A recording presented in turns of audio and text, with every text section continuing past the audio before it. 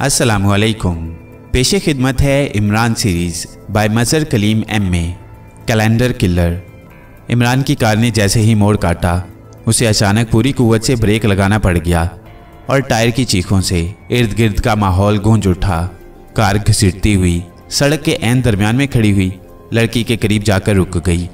लड़की बड़े इतमान से खड़ी थी, उसके चेहरे पर हल्का सा खौफ का तासुर भी नहीं था कि अगर इमरान बर वक्त ब्रेक ना लगाता तो कार उसे यकीनन कुचल देती।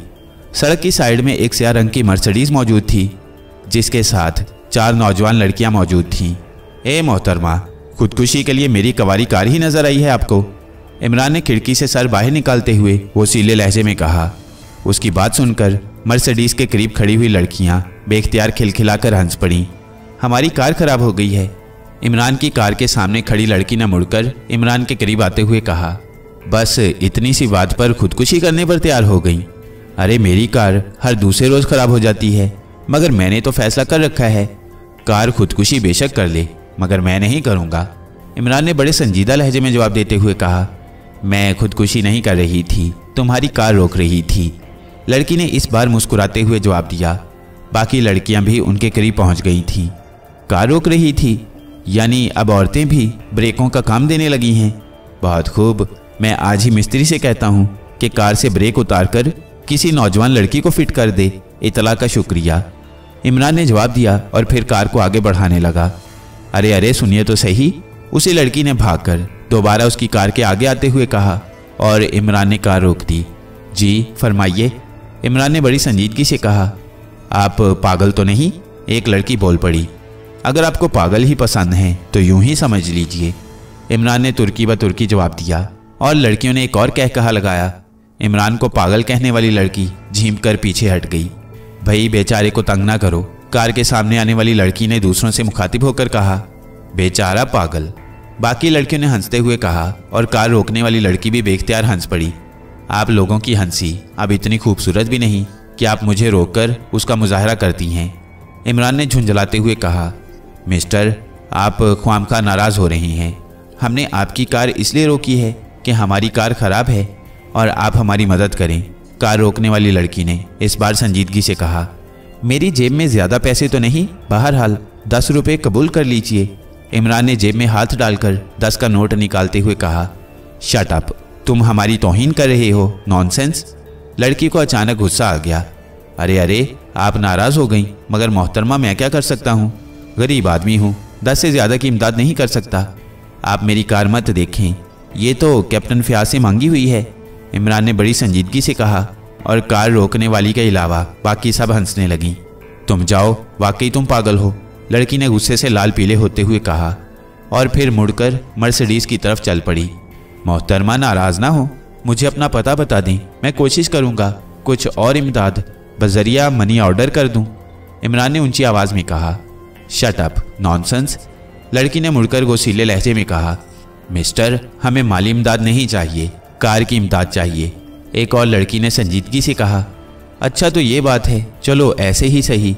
आप भी क्या याद करेंगी कि किसी हातम ताई से वास्ता पड़ा है? इमरान ने दरवाज़ा खोलकर नीचे उतरते हुए कहा, क्या मतलब? क्या आप हमारी कार ठीक कर देंगे? बाकी लड़कियों ने हैरान होकर कहा, मुआफ़ कीजिए, मैं मिस्त्री नहीं हूँ। बहरहाल, आपने कार की इमदाद मांगी है तो ले जाएँ, इसे खैरात में। वैसे ये हो ही इस काबिल गई है कि इसे खैरात में दे दिया जाए। इमरान ने फिक्रे का आखिरी हिस्सा बड़े राजदाराना लहजे में कहा। लड़कियाँ पहले तो उसकी शक्ल देखती रहीं, फिर अचानक एक लड़की के चेहरे पर मुस्कुराहट दौड़ गई। शुक्रिया शुक्रिया, उस लड़की ने कहा, और फिर वह दरवाज़ा खोलकर तेज़ी से ड्राइविंग सीट पर बैठ गई। वाह भाई वाह, वाकई हातम ताई से वास्ता पड़ा है। उसने दूसरी लड़कियों से मुखातिब होकर कहा, उसके चेहरे पर मुस्कुराहट नाच रही थी। और फिर बाकी लड़कियाँ उकाब की तरह इमरान की कार पर झपटी और चंद ही लम्हों में वो कार में सवार थी। अरे अरे, मोहतरमा, अरे तो क्या वाकई? अरे, मैं तो मज़ाक कर रहा था। इमरान ने बौखलाए हुए लहजे में कहा, ये मेरा कार्ड है, आकर अपनी कार वसूल कर लेना। Bye bye. अचानक रास्ता रोकने वाली लड़की ने खिड़की से एक कार्ड बाहर फेंकते हुए कहा और इसके साथ ही इमरान की कार एक झटके से आगे बढ़ी और फिर तेज रफ्तारी से दौड़ती चली गई। इमरान सड़क पर अहमक बना, कार को जाते हुए आँखें फाड़ फाड़ कर देख रहा था। बड़ी महँगी पड़ी ये खैरात, इमरान ने बुड़बुड़ाते हुए कहा, और फिर सड़क पर पड़ा हुआ कार्ड उठा लिया। किसी डॉक्टर आज़म का कार्ड था, और पता शहर से दूर एक मुजाफाती कॉलोनी का था। इमरान ने कार्ड जेब में रखा, और फिर और फिर मर्सडीज कार की तरफ़ बढ़ गया। उसने कार का बोनट उठाया और चेक करने लगा, और जल्द ही उसे मालूम हो गया कि कार की बैटरी इस कदर डाउन हो चुकी है। कार नई बैटरी डाले बगैर चल ही नहीं सकती। इमरान उलझन में फंस गया, क्योंकि शहर यहाँ से दस मील दूर था और सड़क पर ट्रैफ़िक सिरे से थी ही नहीं। ये सड़क एक मुजाफाती जंगल को जाती थी और इमरान पर आजकल जड़ी बूटियों पर रिसर्च का खबत सवार था। इसलिए वो सुबह ही सुबह जंगल में निकल जाता और मुख्तलिफ़ जड़ी बूटियाँ उखेड़ कर उन्हें डिग्गी में भरता और फिर दानिश मंजिल में उन पर तजुर्बे करता रहता। गो इस रिसर्च को शुरू किए हुए, उसे एक हफ़्ते से ज़्यादा हो चुका था। मगर सिवाय उन बदमज़ा और कड़वी जंगली बूटियों का जायका चखने के, वो कुछ और कर भी ना सकता था। आज भी वो चंद नई जड़ी बूटियाँ लेकर वापस जा रहा था कि लड़कियाँ उसकी कार ले उड़ी। इमरान के पास अब इसके सिवा कोई चारा ना था कि वो पैदल शहर की तरफ़ मार्च शुरू कर देता। चुनाचे अपनी हाथम ताई वाली खसूसियत को कोसता हुआ, वो शहर की तरफ़ चल पड़ा। डैडी डैडी, आज तो एक इंतहाई दिलचस्प वाक्य हुआ। आप सुनेंगे तो बेख्तियार हंसेंगे। नौजवान लड़की ने कमरे का दरवाज़ा खोलकर जोशीले अंदाज में कहा, बेटे, मुझे तनहा छोड़ दो, मैं आज बेहद परेशान हूँ। कुर्सी पर बैठे हुए बूढ़े ने इंतहाई संजीदा लहजे में कहा, क्या हुआ, डैडी? आपके चेहरे पर तो हवाइयाँ उड़ रही हैं। खैरियत है? लड़की ने अचानक संजीदा होते हुए कहा, नहीं, कोई ऐसी बात नहीं। बहरहाल, मुझे तनहा छोड़ दो, मैं कुछ सोच रहा हूँ। बूढ़े ने संजीदा लहजे में जवाब देते हुए कहा, डैडी, आखिर हुआ क्या? कुछ मुझे भी तो बताएँ। मैं आपको सुबह अच्छा भला छोड़कर गई थी। अब आखिर क्या हो गया? लड़की ने बूढ़े के गले में बाजू डालते हुए कहा, उसके लहजे से शदीद परेशानी टपक रही थी। कुछ नहीं कुछ नहीं हुआ। बूढ़े ने अचानक मौजू बदलते हुए कदरे शिकस्ता लहजे में कहा, डैडी, आप ऐसी बातें न किया करें। मेरा दिल काँप जाता है। मैं आपको परेशान नहीं देख सकती, लड़की ने कहा। अरे नहीं बेटे, कोई ख़ास बात नहीं थी। बस एक थ्योरी के मुतलिक सोच रहा था। अच्छा बताओ, क्या बात हुई? बूढ़े ने अपने लहजे को ज़बरदस्ती शगुफ्ता बनाते हुए कहा, डैडी, आज सुबह मैं अपनी सहेलियों के साथ कार में घूमने मुजाफाती जंगल की तरफ़ निकल गई थी और डैडी रास्ते में हमारी कार खराब हो गई, बड़ा मसला बन गया। उस सड़क पर कोई ट्रैफ़िक ही ना थी। फिर डैडी एक कार आती नज़र आ गई। हमने डैडी उसे रोका और कार चलाने वाले नौजवान से इमदाद की दरख्वास्त की। फिर डैडी, पता है क्या हुआ? लड़की ने आँखें मटकाते हुए कहा, क्या हुआ? बूढ़े ने चौंक कर पूछा डैडी उस नौजवान ने कार हमें बतौर इमदाद दे दी। लड़की ने हँसते हुए कहा, बतौर इमदाद दे दी? क्या मतलब? बूढ़े ने चौंक कर कहा, डैडी, उसने ये समझा कि हमें इमदाद में उसकी कार मांग रहे हैं। हालाँकि हमारा मतलब तो ये था कि या वो हमारी कार ठीक कर दे या हमें शहर तक लिफ्ट दे दे। मगर वो कार से उतरकर खड़ा हो गया और कहने लगा कि, ले जाओ कार। और हम डैडी कार लेकर आ गए। अब जूतियाँ चटखाता आ रहा होगा शहर की तरफ़। लड़की ने हँसते हुए कहा अरे तो क्या उस गरीब को वहीं छोड़ आई? बूढ़े ने चौंक कर कहा, और डैडी क्या करती? उसने इमदाद जो दी थी, लड़की ने कह कहा लगाते हुए कहा, बुरी बात है बेटा, वो बेचारा परेशान होगा। बूढ़े ने मुस्कुराते हुए कहा, होता रहे।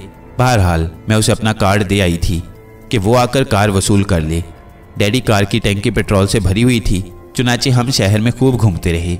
और फिर सहेलियों को उनके घरों में छोड़कर मैं आ गई। लड़की ने हँसते हुए जवाब दिया अच्छा अब वो नौजवान आए तो उसे माजरत कर लेना। बेचारा ख्वाम ख्वाम में परेशान हुआ होगा। बूढ़े ने लड़की के कंधे पर थपकी देते हुए कहा, फिर इससे पहले कि लड़की कोई जवाब देती, एक मुलाजिम कमरे में दाखिल हुआ। उसने हाथ में पकड़ा हुआ कार्ड बूढ़े के सामने रखते हुए कहा, एक नौजवान आपसे मिलना चाहता है। अरे डैडी, ये वही कार्ड है जो मैं कार वाले को दे आई थी। आप पहुँचा है ये? लड़की ने हँसते हुए कहा, उसे यहीं बुला लो, मैं खुद उसे माजरत कर लूँगा। बूढ़े ने जवाब दिया और मुलाजिम मुद्दमाना अंदाज में सलाम करके वापस मुड़ गया। चंद लम्हों बाद इमरान अंदर दाखिल हुआ। उसकी पतलून और जूते मिट्टी से भरे हुए थे। बाल परेशान थे।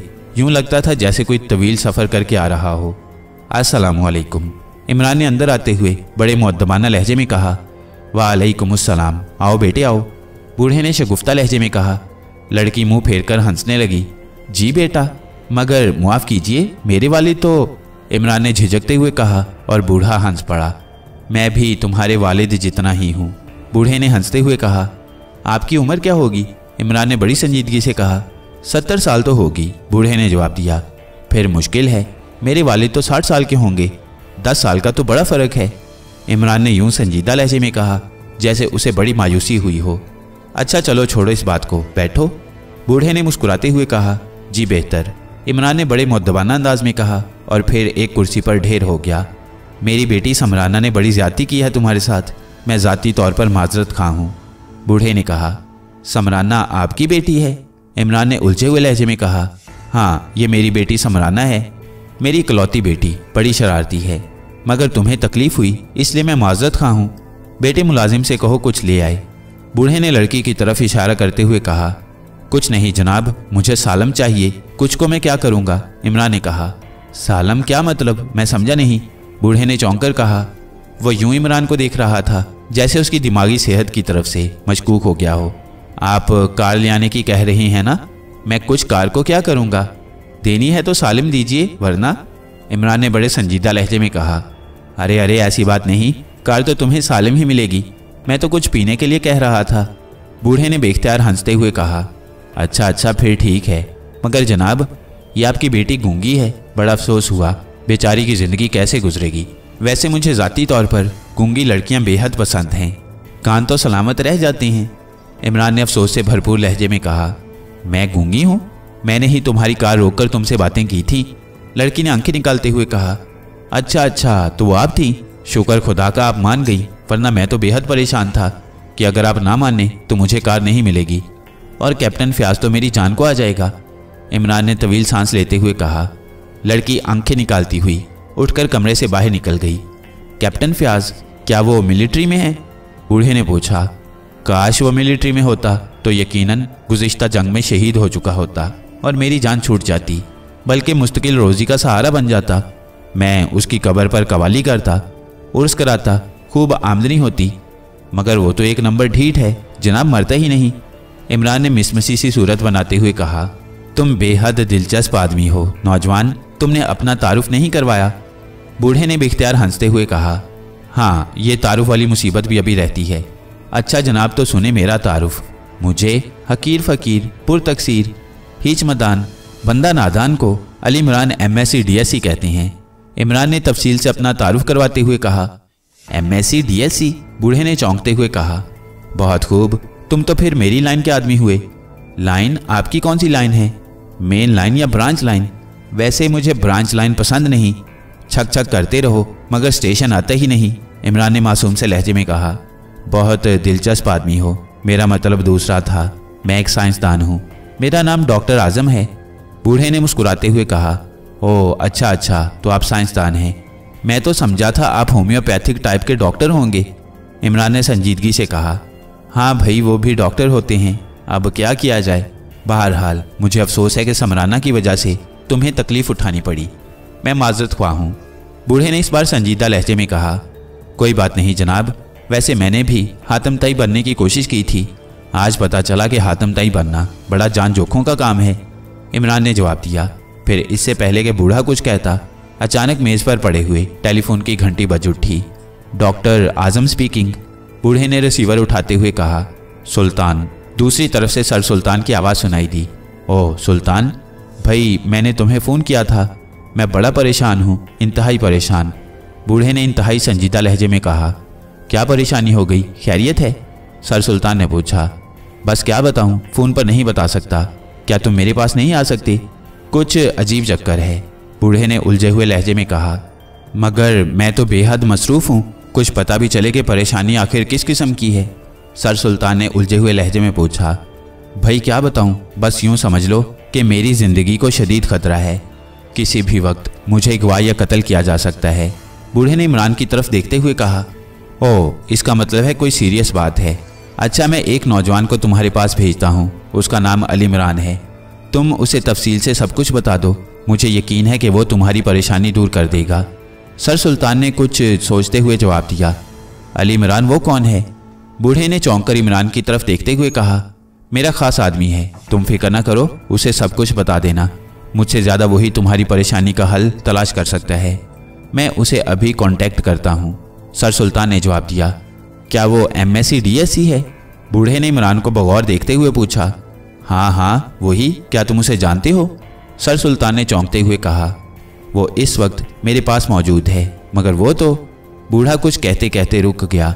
शायद वो इमरान के मुतलिक कोई रिमार्क पास करना चाहता था, मगर इमरान की वजह से खामोश हो गया। तुम्हारे पास मौजूद है, ये कैसे हो सकता है? उसे फ़ोन देना? सर सुल्तान के लहजे में शदीद हैरत थी, और बूढ़े ने रिसीवर इमरान की तरफ़ बढ़ा दिया। Ali Imran, M S C, D S C, Imran ने बड़े संजीदा लहजे में कहा, इमरान बेटे, तुम डॉक्टर आज़म के पास कैसे पहुँच गए? सर सुल्तान के लहजे में हैरत थी।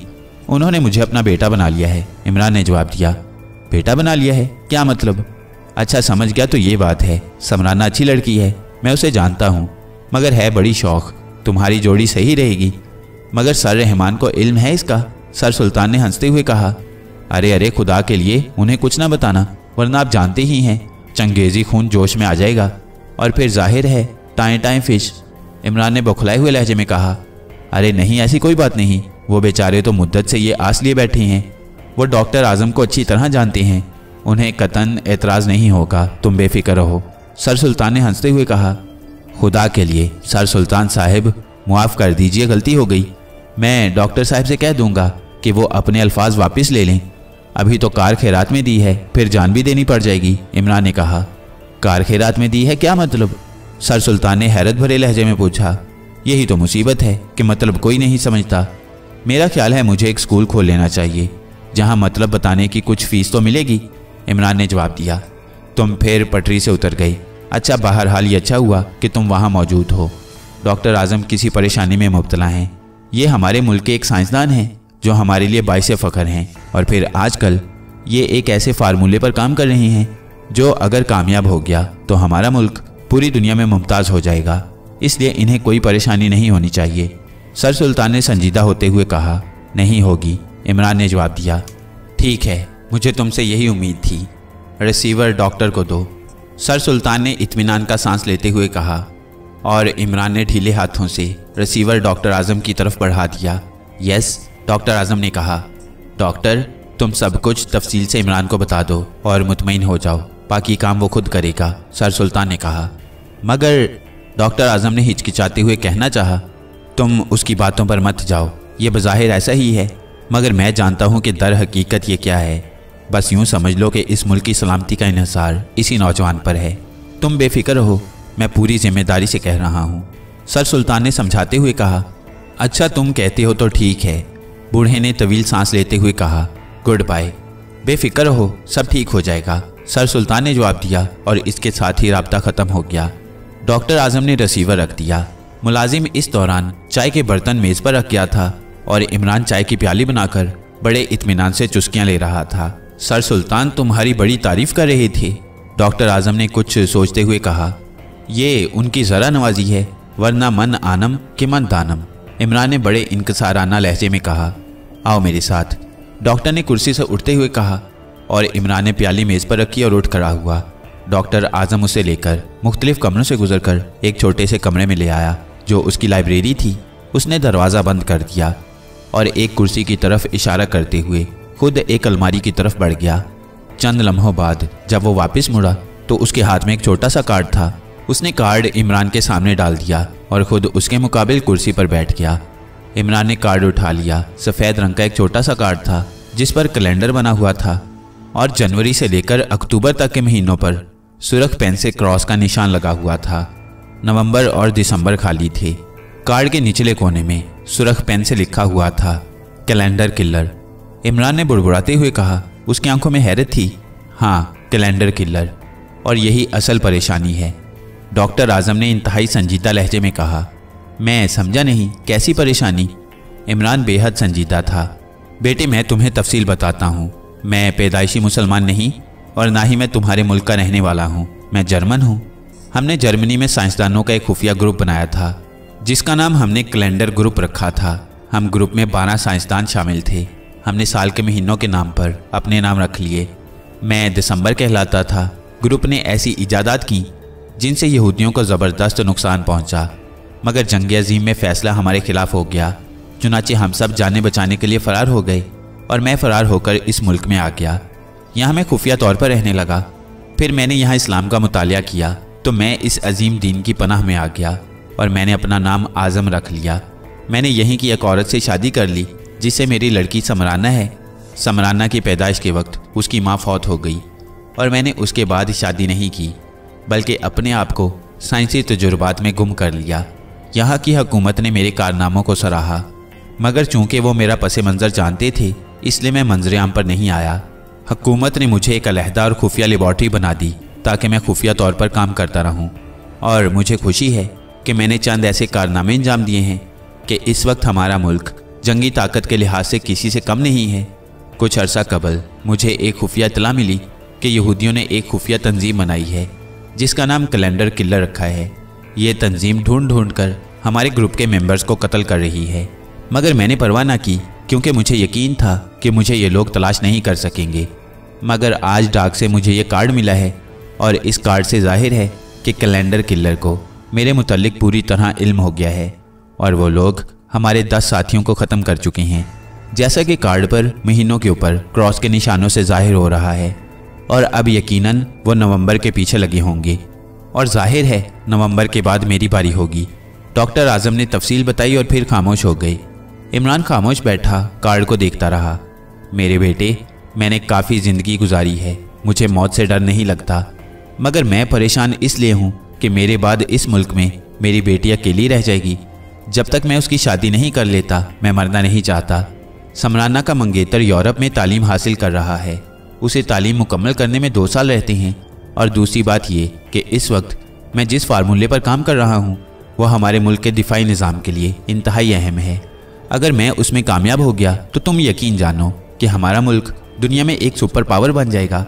डॉक्टर आज़म ने कहा, ठीक है, मुझे सर सुल्तान ने इशारतन बता दिया था। आप मुझे ये बताएँ कि ये नवंबर कौन था? इमरान ने इंतहाई संजीदगी से पूछा, नवंबर डॉक्टर राशील था, वो फरार होकर जारिया चला गया था और उसने वहाँ पनाह ले ली थी। और ये भी बता दूँ कि ये राशील ही था जिसने मुझे कैलेंडर किलर के मुतलिक इतला दी थी। डॉक्टर आज़म ने कहा ओ तो क्या वो आपके मुतलिक जानता है? इमरान ने चौंकते हुए पूछा हाँ हमारी मुलाकात एक साइंस कॉन्फ्रेंस में हो गई थी। डॉक्टर आज़म ने जवाब दिया, आपको डॉक्टर राशील का पता मालूम है? इमरान ने इश्तियाक आमेज लहजे में पूछा हाँ वो जारिया के दारुल हुकूमत कामर्स में रहता है। जारिया की एक डिफेंस लेबार्ट्री में काम करता है। उसकी रिहाइश सोटान कॉलोनी के बंगला नंबर बारह में है। वो ज़्यादातर लेबॉर्ट्री में रहता है, कभी कभार अपनी रिहाइश पर आता है। वो अकेला है, उसने शादी नहीं की। डॉक्टर आज़म ने जवाब दिया, क्या आपको कैलेंडर किलर के मुतलिक तफसीलात का इल्म है? इमरान ने पूछा, नहीं। डॉक्टर आशील ने सिर्फ़ इतना बताया था कि यहूदियों ने चोटी के जासूसों और पेशावर कातिलों का एक ग्रुप बनाया है, जिसका मकसद कैलेंडर को ख़त्म करना है। डॉक्टर आज़म ने जवाब दिया, ओके डॉक्टर, आप बेफिक्र रहें। कैलेंडर किलर आखिरी महीने तक पहुँचने से पहले ही ख़त्म हो जाएगा। भला दिसंबर जैसे प्यारे महीने को मैं ख़त्म होने देता हूँ। मुझे वैसे भी ज़ाती तौर पर दिसंबर का महीना बेहद पसंद है। अच्छे अच्छे गर्म सूट पहनने को मिलते हैं, खुश्क मेवा खाने को मिलता है आतिशदान में आग जलाकर किताब पढ़ने को मिलती है। इमरान का जहन फिर पटरी से उतर गया और डॉक्टर फीकी हँसी हंस कर रह गया। आप बेफिक्र रहें डॉक्टर, सर सुल्तान से कहकर, आपको और आपकी बेटी को यहाँ से हटाकर किसी खुफिया मुकाम पर भिजवा दूँगा। और फिर मैं इस कैलेंडर किलर की भी खबर लूँगा। उसकी क्या ज़रूरत कि कैलेंडर को कत्ल करता फिरे? बस इतना कर्म करें कि मेरी कार दिलवा दें, वरना कैप्टन फ्याज मेरी जान को आ जाएगा। इमरान ने कुर्सी से उठते हुए कहा, ठीक है, आओ। डॉक्टर आज़म ने तवील सांस लेते हुए कहा, वो दिल ही दिल में सोच रहा था कि सर सुल्तान ने उसके साथ मज़ाक किया है। बहरहाल, वो इससे ज़्यादा कर भी क्या सकता था? जो खुदा को मंजूर है, वो तो होना ही है। फिर इमरान डॉक्टर आज़म के पीछे चलता हुआ कमरे से बाहर निकलता चला गया। कार्ड उसने जेब में डाल लिया था। ये एक छोटा सा कमरा था, जिसके दरमियान मौजूद मेज़ के गिर्द चार अफराद बैठे हुए थे। चारों तवीलुल कामित और लहीम शहीम जिसम के मालिक थे। उनके चेहरों पर करख्तगी के आसार छाए हुए थे। आँखों में अयारी और चालाकी कूट कूट कर भरी हुई थी। क्या दिसंबर को कार्ड पहुँचा दिया गया है? दरमियान में बैठे हुए शख्स ने साथ वाले से मुखातिब होकर कहा उसके लहजे में तो हुक्म अया था। यस, बॉस, दूसरे ने मुद्दबाना जवाब दिया। उसकी निगरानी हो रही है या नहीं, वो कार्ड देखकर फरार ना हो जाए। बॉस ने दूसरा सवाल किया, नहीं, बॉस, उसकी मुकम्मल निगरानी की जा रही है। वो हमारी नज़रों से नहीं बच सकता। एक और ने जवाब दिया, ठीक है, अब नवंबर के मुतलिक रिपोर्ट दो।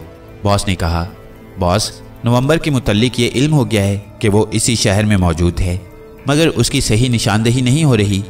बहरहाल काम तेज़ी से जारी है। जल्द ही मालूम हो जाएगा। एक और शख्स ने रिपोर्ट दी। वो साइंसदान है, इसलिए उसका पता किसी साइंसी लेबॉर्ट्री से ही मिल सकता है। जारिया की तमाम लेबॉर्ट्रियों में काम करने वालों को चेक करो, उन सब की पड़ताल करो, नवंबर मिल जाएगा, बॉस ने हदायत देते हुए कहा। इन्हीं लाइनों पर काम हो रहा है, बॉस। जारिया बहुत बड़ा मुल्क है, साइंसी लिहाज से इंतहाई तरक्की याफ्ता। इसलिए यहाँ बेशुमार खुफिया लेबॉर्ट्रियाँ हैं। इसलिए नवंबर को ढूँढने में वक्त लगेगा। दूसरी बात यह है कि यहाँ की सीक्रेट सर्विस और इंटेलिजेंस बेहद तरक्की याफ्ता है। इसलिए काम इंतहाई एहतियात से किया जा रहा है, ताकि हमारा ग्रुप उनकी नज़रों में ना आ जाए, एक और ने कहा। ठीक है, काम एहतियात से होना चाहिए, मगर मैं ज़्यादा देर नहीं चाहता।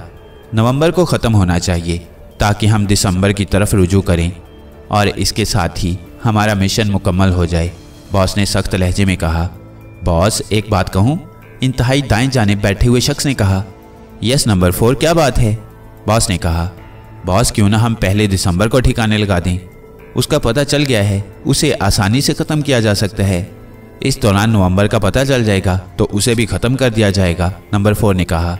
कैलेंडर किलर ग्रुप बनाते वक्त ये असूल तय किया गया था कि हम कैलेंडर के मुताबिक काम करेंगे, और अब तक हम कामयाब रहे हैं।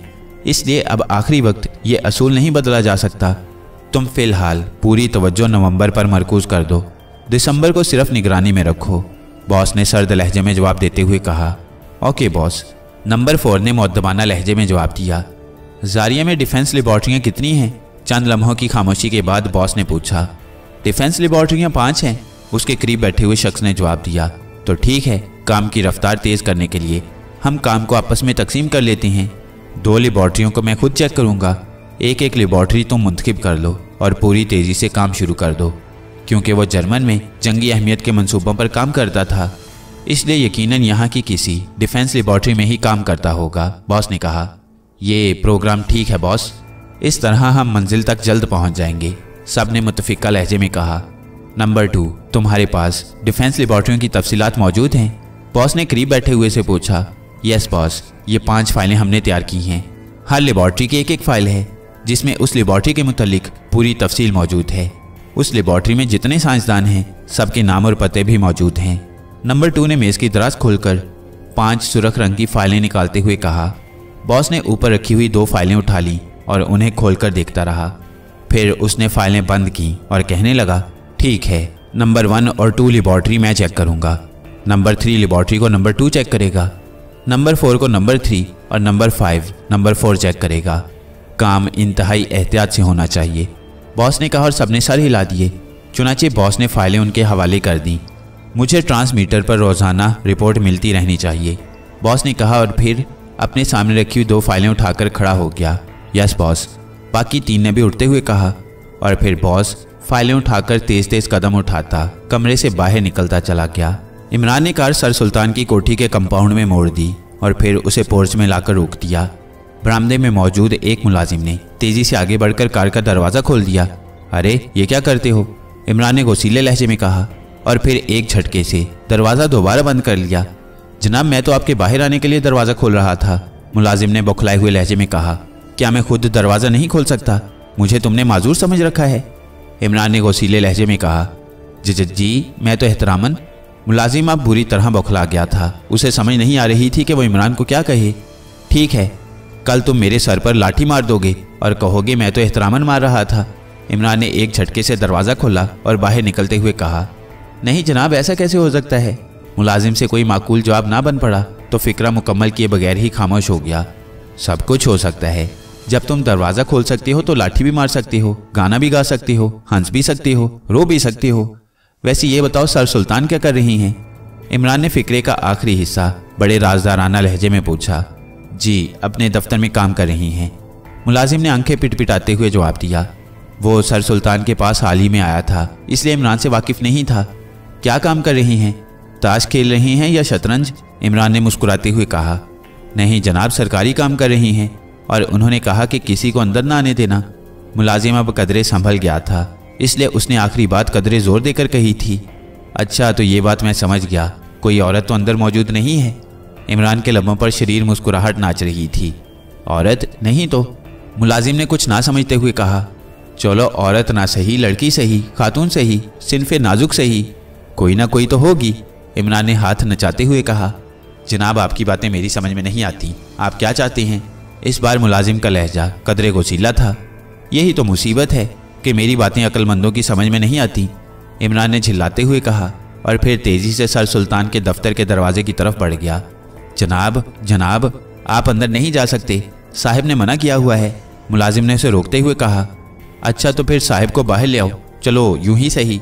इमरान ने दरवाजे के पास रुकते हुए कहा, आप उधर इंतजारगाह में तशरीफ़ रखें और अपना कार्ड मुझे दें। अगर साहिब इजाज़त देंगे तो मैं आपको अंदर जाने दूँगा। मुलाजिम ने सख्त लहजे में कहा, उसे यकीन हो गया था कि इमरान अगर मुकम्मल तौर पर पागल नहीं है तो क्रैक ज़रूर है।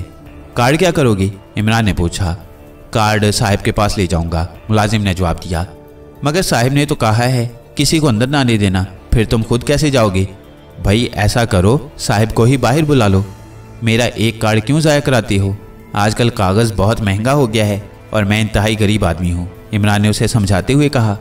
नहीं जनाब, अगर आपने मिलना है तो मुलाजिम ने झुल्लाए हुए लहजे में कहा।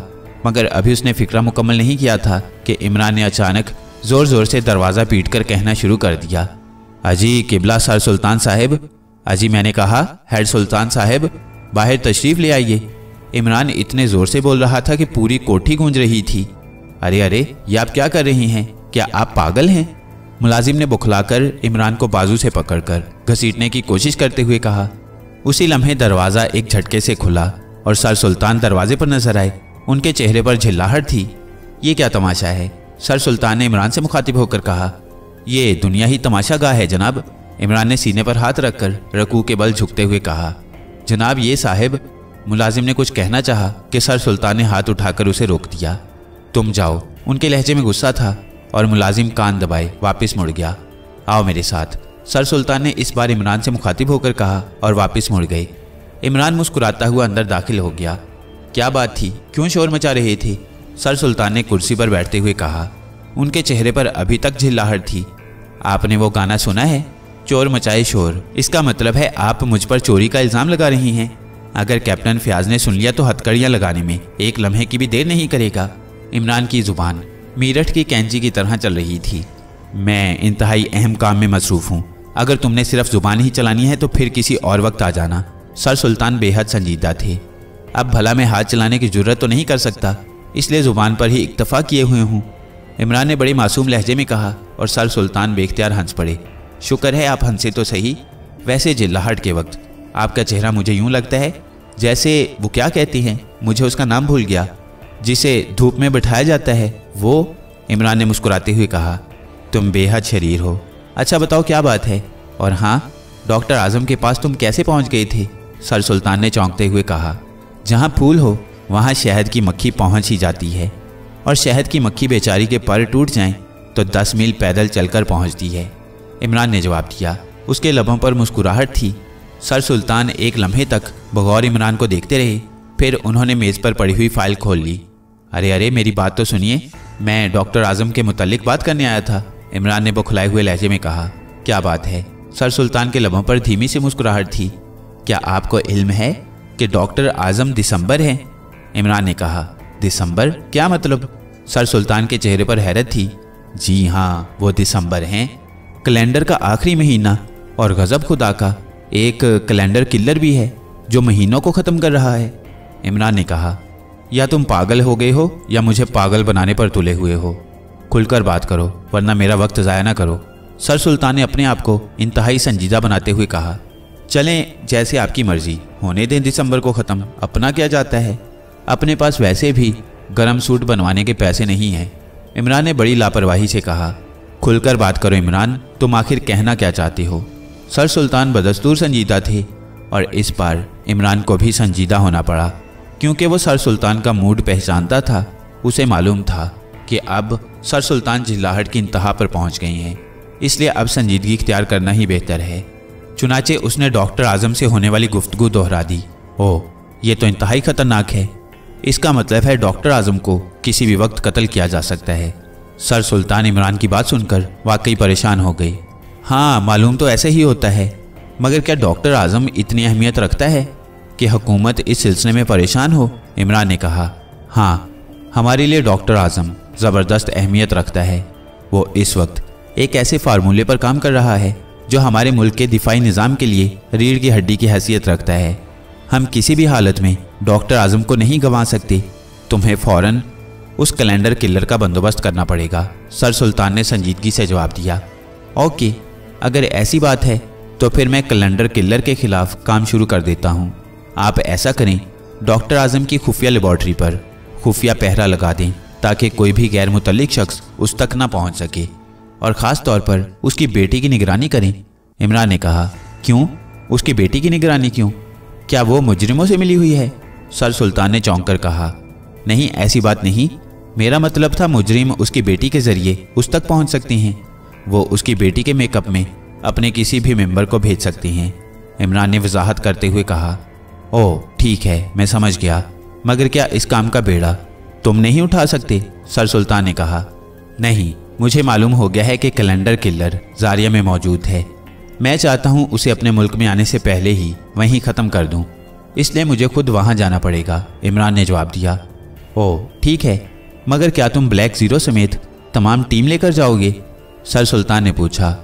नहीं, मेरा ख्याल है मैं चंद मखसूस मेंबरों को हमरा ले जाऊँगा। हमें इंतहाई तेज़ी से काम करना पड़ेगा। और ज़्यादा आदमियों की वजह से बाज़ काम उलझ भी जाता है, इमरान ने जवाब दिया। तो ऐसा करो बाकी मेंबरों को डॉक्टर आज़म की हिफाजत पर लगा दो। ब्लैक ज़ीरो उन्हें कंट्रोल कर लेगा। इस तरह मैं मुतमिन रहूँगा, सर सुल्तान ने कहा। चलो, ऐसा ही कर लेते हैं। मैं अपने साथ सफदर और कैप्टन शकील को ले जाऊँगा। बाकी मेंबर यहाँ डॉक्टर आज़म की हिफाजत करेंगे। इमरान ने रजामंदी का इजहार करते हुए कहा, ठीक है, मगर यह ख्याल रहे कि हुकूमत जारिया से हमारे सफारती ताल्लुकात नहीं हैं। इसलिए वहाँ की सीक्रेट सर्विस या इंटेलिजेंस से तुम्हें कोई ताउन नहीं मिल सकेगा, सर सुल्तान ने कहा। आप बेफिक्र रहें, इमरान अपने तौर पर काम करना जानता है। Bye bye. इमरान ने इंतहाई संजीदगी से कहा और फिर उठकर तेज तेज कदम उठाता, कमरे से बाहर आ गया। कोठी पर गहरा सकूत तारी था। कोठी के अंदर सिर्फ़ बरामदे में एक कमरे का बल्ब चल रहा था, जिसकी मलगजी सी रोशनी गहरे अंधेरे से नाकाम जंग में मसरूफ थी। ये कोठी एक ऐसी कॉलोनी में मौजूद थी, जहाँ कोठियों का दरमियानी फासला काफ़ी से ज़्यादा रखा गया था। आधी से ज़्यादा रात गुजर चुकी थी और कॉलोनी के मकीन ख्वाब खरगोश के मज़े ले रहे थे कि एक स्या रंग की कार आहिस्ता आहिस्ता चलती हुई, कॉलोनी के पहले चौक को क्रॉस करती हुई अंदर दाखिल हुई। उसका साइलेंसर बेहद नफीस मालूम हो रहा था, क्योंकि इंजन की आवाज़ मक्खियों की भिन भिनाहट से ज़्यादा नहीं थी।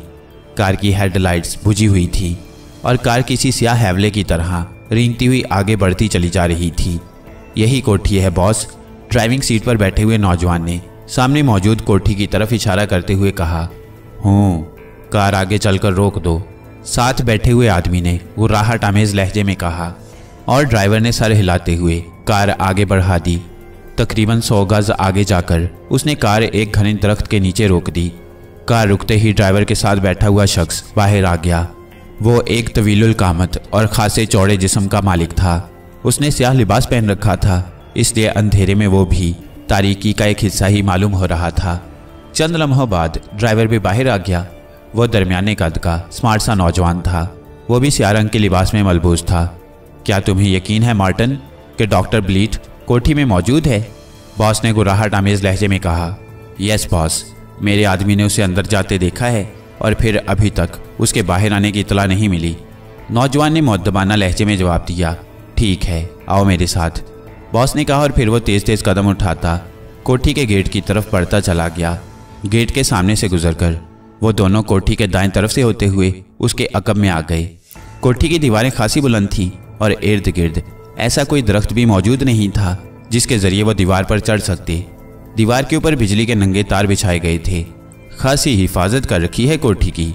बॉस ने जहरीले अंदाज में कहा, यस बॉस, कोठी में कुत्ते भी मौजूद हैं। मार्टन ने दबे लहजे में कहा, कुत्ते हमारा रास्ता नहीं रोक सकते। मार्टन, हम एक आला मकसद के लिए काम कर रहे हैं। और फिर उसने जेब में हाथ डालकर एक रस्सी बाहर निकाल ली, जिसके सिरे पर एक आंकड़ा लगा हुआ था। उसने रस्सी का दूसरा सिरा अपने हाथ के गिर्द लपेटा और फिर उसने रस्सी के आंकड़े वाला सिरा ऊपर फेंक दिया। दूसरे लम्हे रस्सी तनसी गई, मखसूस अंदाज में बना हुआ आंकड़ा। दीवार की दूसरी तरफ़ किसी दर्ज में फंस गया था। बॉस ने रस्सी को खींच कर देखा और फिर वो अपना ओवरकोट उतारने लगा। ओवरकोट उतारकर उसने कंधे पर डाला और फिर रस्सी को पकड़कर तेज़ी से ऊपर चढ़ता चला गया। दीवार के सिरे के करीब पहुंचकर उसने एक हाथ से रस्सी को थामे रखा और दूसरे हाथ से ओवरकोट उतारकर बिजली के नंगे तारों पर डाल दिया और इसके बाद वो इत्मीनान से दीवार पर चढ़कर दूसरी तरफ़ कूद गया। उसके दूसरी तरफ़ कूदते ही मार्टिन ने तेज़ी से रस्सी पकड़ी और फिर किसी फुर्तेले बंदर की तरह वो रस्सी का सहारा लेकर दीवार पर चढ़ा और दूसरी तरफ़ कूद गया। यहाँ बॉस एक बाढ़ के पीछे छुपा हुआ था। मार्टिन के नीचे आते ही उसने रस्सी को झटका देकर खींचा और फिर उसका आंकड़ा दूसरी तरफ़ फेंक दिया। रस्सी एक बार फिर तन गई। आओ मेरे साथ। बॉस ने रस्सी को वहीं छोड़ा और फिर रिंगता हुआ कोठी की इमारत की तरफ़ बढ़ने लगा। कोठी पर गहरा सकूत तारी था। वो कुत्ते कहीं नज़र नहीं आ रहे। बॉस ने मार्टन से पूछा मालूम नहीं बॉस, रिपोर्ट तो यही मिली थी कि कुत्ते मौजूद हैं। मार्टन ने जवाब दिया, वो दोनों रिंगते हुए, तेज़ी से, कोठी की असल इमारत की अकबी सिमत पहुँच गए। चंद लम्हों तक, बॉस इमारत की अकबी दीवार का जायजा लेता रहा, फिर वो खड़ा हो गया। उसने छत पर जाने के लिए एक पाइप ताड़ लिया था, मगर दूसरे लम्हे वह जैसे ही पाइप की तरफ़ बढ़ा, अचानक दो स्याह रंग के हैवले उछलकर उन दोनों पर आ पड़े, और वो दोनों एक झटके से नीचे गिर पड़े। हैवलों के मुँह से हल्की हल्की गुर्राहट निकल रही थी। उन दोनों ने नीचे गिरते ही फुर्ती से कलाबाजी खाई और इस तरह उन हैवलों को, जो ब्लड हाउंड कुत्ते थे, उनके खौफनाक पंजों की जद से बाल बाल बच गए। मगर हैवले एक बार फिर पलटकर उन पर चढ़ दौड़े, मगर उसी लम्हे बॉस का हाथ हरकत में आया और एक शोला सा चमका और इसके साथ ही एक हैवला धप से ज़मीन पर गिर पड़ा। उसके मुँह से अब भी दबी दबी गुर्राहट निकल रही थी। उधर दूसरा हैवला मार्टन के हाथ उलट पुलट हो रहा था। दूसरे लम्हे मार्टन के हाथ हैवले की गर्दन पर पड़े और उसने एक झटके से कुत्ते को दूर फेंक दिया। कुत्ता नीचे गिरते ही एक बार फिर उछला, मगर उसी लम्हे बॉस के हाथ में पकड़े हुए रिवॉल्वर ने शोला उगला और वह एक धमाके से नीचे गिर गया। चंद लम्हों तक उसकी गुर्राहट की आवाज़ सुनाई दी, फिर वह बेहिस्सो हरकत हो गया। खास खतरनाक कुत्ते थे, बॉस ने तवील सांस लेते हुए कहा, मगर बॉस ये भौंके नहीं, सिर्फ़ गुर्रा रहे थे। मार्टन ने हाँपते हुए कहा हाँ इन्हें गूँगा कर दिया होगा, ताकि वो बेखबरी में अपने शिकार को झपट लें। बॉस ने कहा और फिर उसने रिवॉल्वर जेब में डाला और तेज़ी से पाइप पर चढ़ता चला गया। मार्टन ने भी उसकी पैरवी की और चंद लम्हों बाद वो कोठी की छत पर पहुँच गई थी। सीढ़ियों का दरवाज़ा उनकी तवक्को के मुताबिक खुला हुआ था, इसलिए वो बड़े इतमान से सीढ़ियाँ उतरकर असल इमारत के अंदर दाखिल हो गए सीढ़ियाँ अंदरूनी सहन में उतरती थीं। जैसे ही वो उतरकर सहन में पहुँचे, उन्हें एक कमरे में नीले रंग की रोशनी नज़र आई। यही डॉक्टर की ख्वाबगाह है। बॉस ने दबे लहजे में कहा और फिर वह पंजों के बल चलता हुआ ख्वाबगाह के दरवाजे पर पहुँच गया। दरवाज़ा अंदर से बंद था। बॉस ने झुककर की हॉल से आँख लगा दी। सामने ही मसहरी पर एक नौजवान स्लीपिंग सूट पहने गहरी नींद सोया हुआ था। बॉस तेज़ी से सीधा हुआ और फिर उसने जेब से एक बारीक सा तार निकाला। उसका सिरा कुंडी किसी सूरत में मुड़ा हुआ था। उसने तार की होल में डाला और उसे मखसूस अंदाज में दाएँ बाएँ घुमाने लगा। उसका दूसरा हाथ हैंडल पर रखा हुआ था। चूँकि उसने हाथों पर दस्ताने पहन रखे थे, इसलिए उसे उंगलियों के निशान आ जाने की भी परवाह न थी।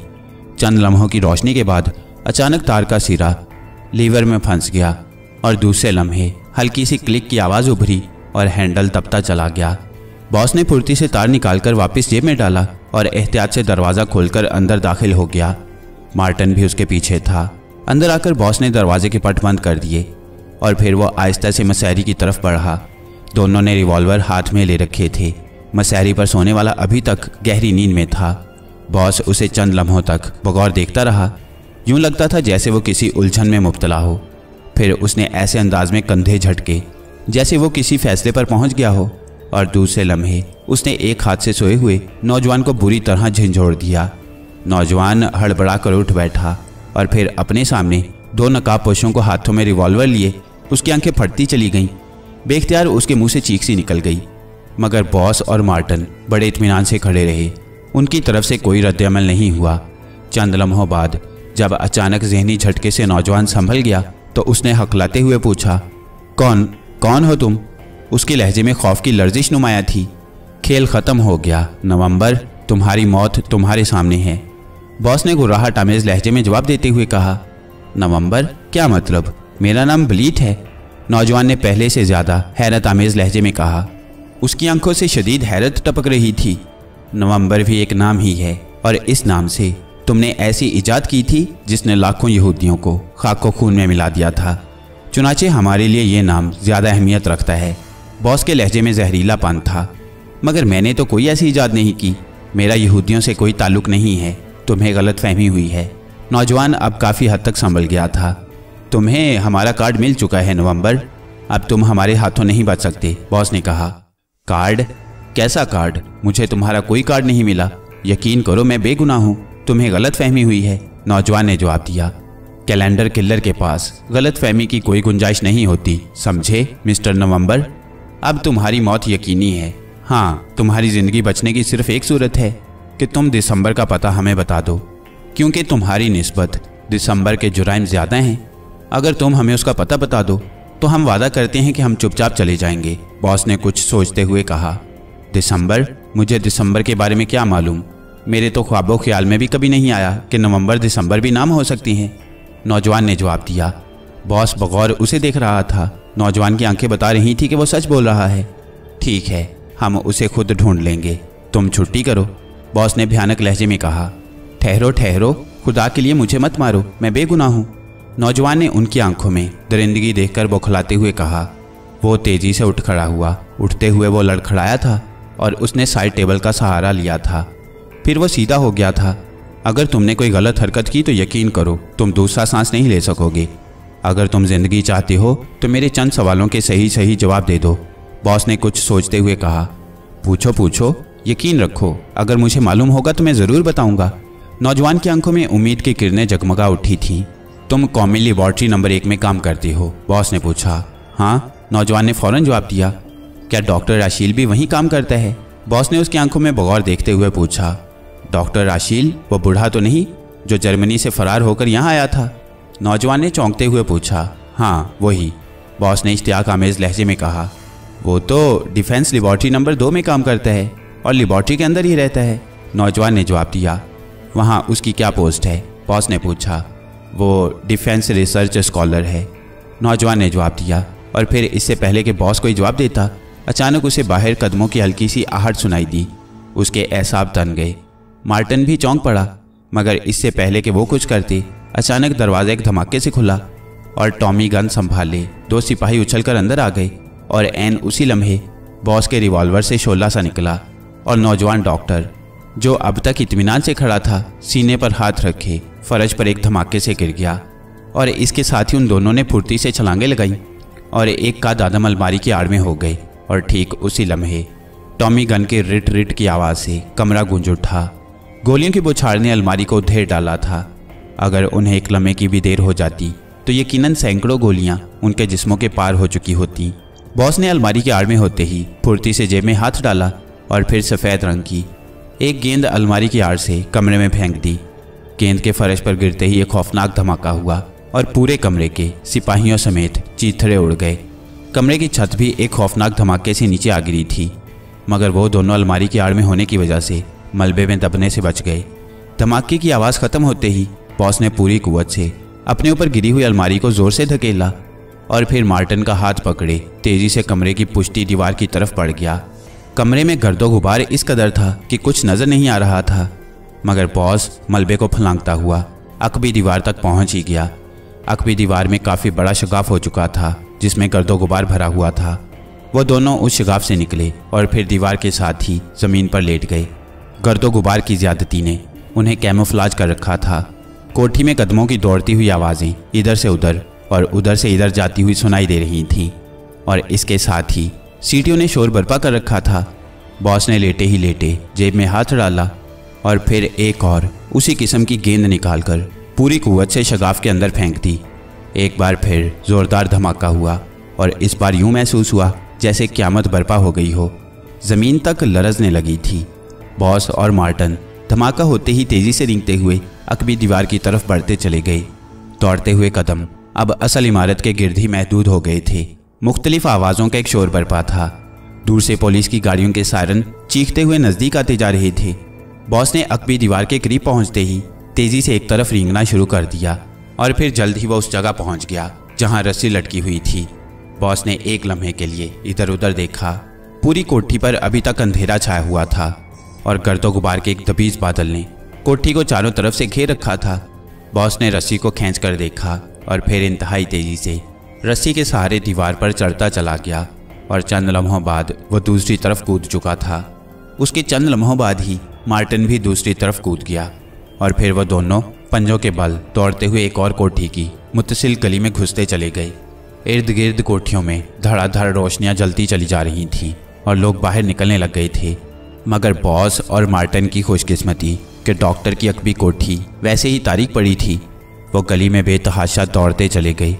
अलबत्ता उनकी इम्कानी कोशिश यही थी कि उनके कदमों की आवाज़ ना उभरे और पैरों में पहने हुए।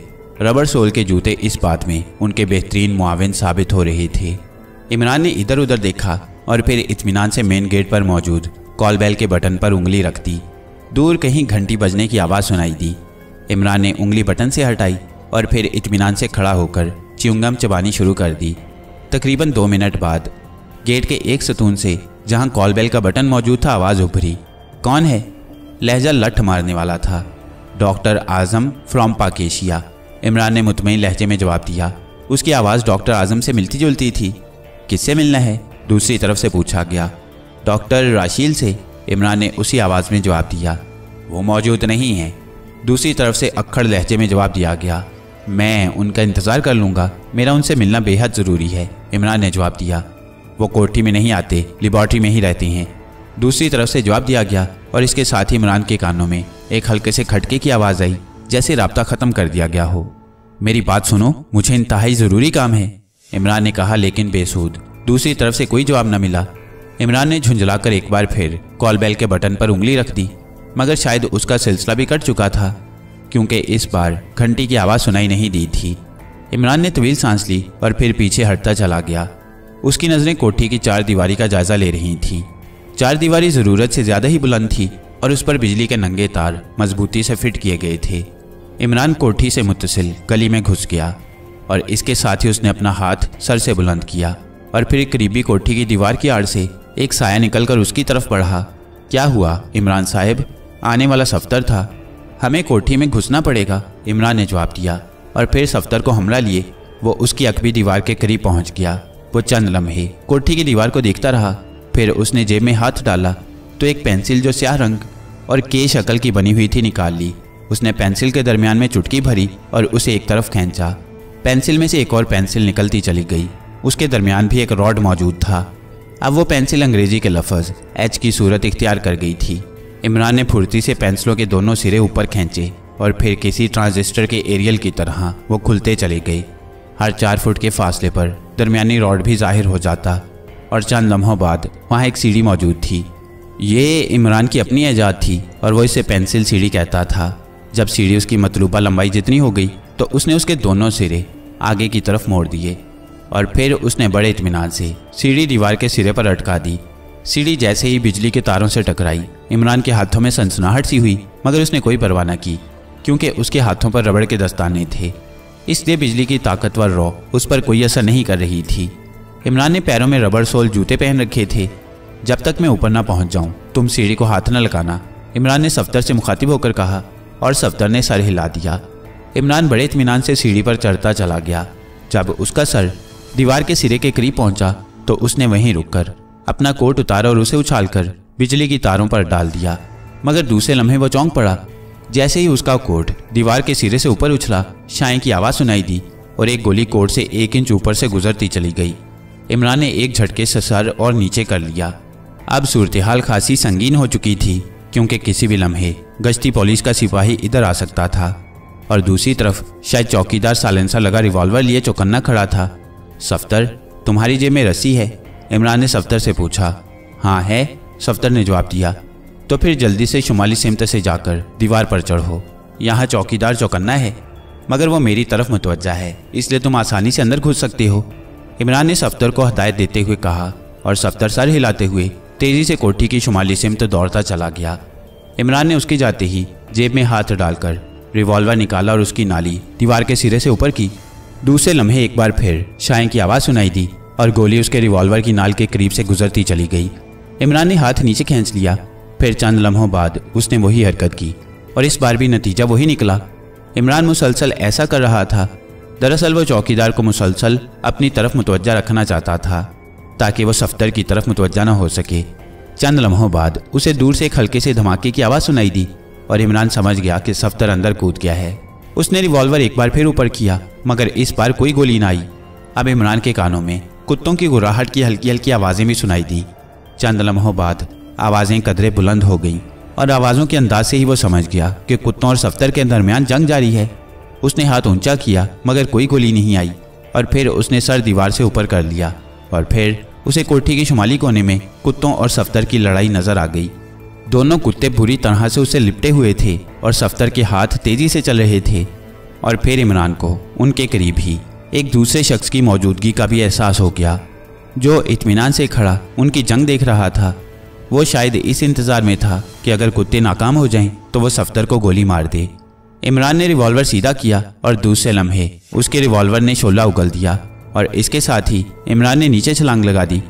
इमरान के रिवॉल्वर से निकलने वाली गोली चौकीदार के करीब से गुजरती चली गई थी और इमरान का मकसद भी यही था कि वो उसकी तरफ़ मुतवजा हो जाए, चुनाचे वही हुआ। चौकीदार चौंक कर मुड़ा और फिर उसका हाथ ऊपर उठा। मगर इमरान बाढ़ के पीछे चुप गया था। चौकीदार तेज़ी से उस बाढ़ की तरफ़ दौड़ा। रिवॉल्वर उसके हाथ में था। जैसे ही वो इमरान के करीब पहुँचा, इमरान के रिवॉल्वर से शोला निकला और चौकीदार के हाथों से रिवॉल्वर निकलता चला गया।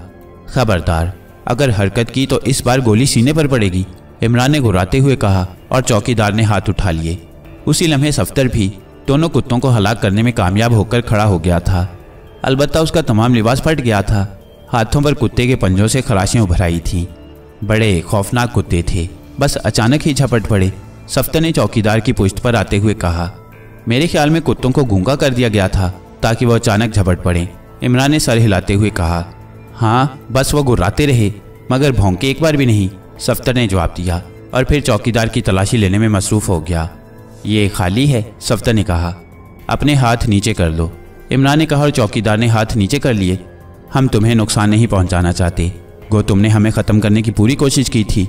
इमरान ने चौकीदार से मुखातिब होकर कहा यह मेरा फ़र्ज़ है कि मैं गलत आदमी को कोठी में ना आने दूँ। चौकीदार ने सर्द लहजे में जवाब दिया, सही आदमी, गलत रास्ते से भी आ जाते हैं। बहरहाल, हम सिर्फ़ इतना पूछने आए हैं कि डॉक्टर राशील कहाँ है? इमरान ने नरम लहजे में पूछा, मुझे नहीं मालूम। चौकीदार ने जवाब दिया, खूब तो तुम खासे फर्शनास वाक़ हुए हो। मुझे ऐसे शख्स बेहद पसंद हैं। मैंने आज तक बड़ी कोशिश की कि तुम जैसा आदमी मिल जाए। मगर अफसोस, इस दुनिया में कहतुल रिजाल है। बहरहाल, तुम डॉक्टर राशील को टेलीफोन करो और उसे कहो कि पाकिशिया से डॉक्टर आज़म से बात करे। बस इतना सा काम कर दो। इमरान ने चौकीदार के करीब आते हुए कहा, आप वक्त ज़ाया कर रही हैं। मैं कुछ नहीं जानता, चौकीदार ने कहा। बेहतर, तुम्हारी मर्ज़ी। इमरान ने बड़े इतमान से जवाब दिया। और फिर दूसरा लम्हा, चौकीदार और सफ्तर दोनों के लिए हैरत अंगेज साबित हुआ। इमरान ने फुर्ती से चौकीदार की नाक, एक हाथ से दबाई और दूसरे हाथ में दबे हुए रिवॉल्वर की नाक उसके सीने से लगा दी। तुम क्या करना चाहते हो? चौकीदार ने हकलाते हुए कहा, उसकी आँखों में हैरत थी, कुछ नहीं। मैंने सोचा कि कहीं तुम्हारी नाक के रास्ते से सारी फर्शनासी बाहर ना निकल जाए। इमरान ने बड़े मुतमिन लहजे में कहा, और इसके साथ ही उसने दोनों उंगलियों को, जिससे उसने चौकीदार की नाक दबाई हुई थी, मखसूस अंदाज में हरकत दी और दूसरे लम्हे चौकीदार के हलक से चीख निकल गई। उसके हाथ तेज़ी से हरकत में आए, मगर उसी लम्हे सफ्तर ने झपट कर उसके दोनों हाथ पकड़कर पीछे की तरफ़ मोड़ दिए। इमरान ने एक बार फिर उंगलियों को वैसे ही मखसूस अंदाज में हरकत दी और चौकीदार के हलक से एक बार फिर चीख निकल गई। वह यूँ टकरा रहा था जैसे उसके दिल में किसी ने खंजर उतार दिया हो। अरे अरे, चीखते क्यों हो? मैं तो तुम्हारी फर्श नासी को बाहर निकलने से रोक रहा हूँ, इमरान ने बड़े मुतमिन लहजे में कहा और चौकीदार की आँखें तकलीफ़ से फटने लगी। उसके चेहरे पर पसीने के कतरे उभर आए थे। उसका पूरा जिसम काँप रहा था। जैसे उसकी रूह जिसम में फिर फिर आ रही हो। आप बताओ, क्या कहते हो? इमरान ने अचानक सर्द लहजे में कहा, बताता हूँ, खुदा के लिए मेरी नाक छोड़ दो। चौकीदार ने हकलाते हुए कहा और इमरान ने हाथ खींच लिया और सफ्तर ने भी उसके हाथ छोड़ दिए। चंद लम्हों तक वो बुरी तरह अपनी नाक मसलता रहा। उसकी नाक का सिरा सुरख हो गया था। Doctor Rasheel, defence laboratory number दो में ही रहता है। और गुज्त छः माह से कोठी में नहीं आया और ना ही उससे रबता कायम हो सकता है, चौकीदार ने जवाब दिया। उसका अहदा क्या है? इमरान ने पूछा। Defence research scholar. चौकीदार ने जवाब दिया। उसका फ़ोटो कोठी में मौजूद है? इमरान ने पूछा। हाँ मौजूद है। चौकीदार ने जवाब दिया। अब वो तीर की तरह सीधा हो चुका था। इमरान चौकीदार को हमला लिए कोठी के अंदर दाखिल हो गया। चौकीदार ने मेज़ की दराज खोलकर एक फ़ोटो निकाला और इमरान की तरफ़ बढ़ा दिया। इमरान ने देखा कि वो एक उधेड़ उम्र शख्स था, मगर चेहरे से जवानी छलकती थी। ओके, मिस्टर फरज शनाज बस इतनी मालूम काफ़ी हैं। इमरान ने कहा और फिर वो उसे हमला लिए, वापस दीवार की तरफ़ आया। सफ्तर रस्सी की मदद से दीवार पर चढ़ा और फिर उसने दूसरी तरफ़ लटकी हुई रस्सी उधर लटका दी और खुद नीचे कूद गया। चलो, ऊपर चढ़ो, इमरान ने रिवॉल्वर हिलाते हुए कहा। तुम मुझे कहाँ ले जाना चाहते हो? चौकीदार ने हिचकिचाते हुए कहा। बताया तो था कि तुम जैसा फरशनास आदमी मुझे आज तक नहीं मिला, इसलिए मैं हमेशा तुम्हें अपने पास रखना चाहता हूँ। चलो, चढ़ो ऊपर, वरना तुम्हारी नाक। इमरान ने कहा और चौकीदार नाक के मुतलिक सुनते ही तेज़ी से सीढ़ी चढ़ता चला गया। जब वो दूसरी तरफ़ कूद गया तो इमरान भी ऊपर आ गया और फिर उसने कोट पर पैर रखकर सीढ़ी दूसरी तरफ़ लटकाई और फिर नीचे उतरकर कोट भी उतार लिया। पेंसिल सीढ़ी को तय करके उसने दोबारा जेब में रखा और ओवरकोट पहन लिया। वो तीनों खामोशी से चलते हुए मेन रोड पर आ गए यहाँ करीब ही एक दरख्त की आड़ में वो कार मौजूद थी, जो इमरान ने किराए पर हासिल की थी। इमरान ड्राइविंग सीट पर बैठ गया, जबकि सफ्तर और चौकीदार पिछली सीटों पर बैठ गए। सफ्तर के हाथ में रिवॉल्वर मौजूद था। इमरान ने गाड़ी आगे बढ़ा दी। मिस्टर कुत्ते मार मैं चौकीदार को शहर में उतार दूँगा। तुमने इसकी निगरानी करनी है। अगर ये किसी से रबता कायम करे तो ये मालूम करना है कि इसने किससे और किस नंबर पर रबता किया है। इमरान ने उर्दू में कहा, उसे यकीन था कि चौकीदार उर्दू नहीं जानता होगा। ठीक है, मगर ये बात मेरी समझ में नहीं आई कि कोठी से बाहर आने के लिए फाटक क्यों इस्तेमाल नहीं किया? सफ्तर ने पूछा। इसलिए ताकि चौकीदार आसानी से वापस कोठी में न जा सके और रबता बाहर से ही कायम करे, इमरान ने जवाब दिया। और सफ्तर ने सर हिला दिया। वो अब समझ गया था कि इमरान ने ऐसा क्यों किया। ज़ाहिर है कोठी का फाटक अंदर से बंद था और दीवारें इतनी ऊँची हैं कि चौकीदार अंदर आसानी से ना जा सकेगा। इसलिए लाजमी बात है कि उसने जिससे भी रबता कायम करना है बाहर से ही करेगा। इस तरह सफ्तर आसानी से सब कुछ मालूम कर लेगा। आपने इसकी नाक का क्या किया? ये तो चैं ही बोल गया था। बड़े बड़े जब अपनी नाक खतरे में देखती हैं तो चैं बोल जाती हैं। इस बेचारी की क्या औकात? इमरान ने मुस्कुराते हुए कहा और सफ्तर बेख्तियार हंस पड़ा। चंद लम्हों बाद कार शहर में दाखिल हो चुकी थी। इमरान ने कार एक साइड पर रोकी और फिर चौकीदार से मुखातिब होकर कहा, मिस्टर फरज शनाज अब तुम उतर जाओ। मैंने तुम्हें साथ रखने का इरादा बदल दिया है। तुम्हारी फर्श शनासी तो नाक पकड़ते ही गायब हो जाती है, और मैं तुम्हारी नाक कहाँ तक संभालता फिरूँगा? इमरान ने चौकीदार से मुखातिब होकर कहा, और चौकीदार तेज़ी से दरवाज़ा खोलकर नीचे उतर गया। वो इतनी तेज़ी से नीचे उतरा था, जैसे उसे खतरा हो, कि कहीं इमरान दोबारा न उसे पकड़ ले।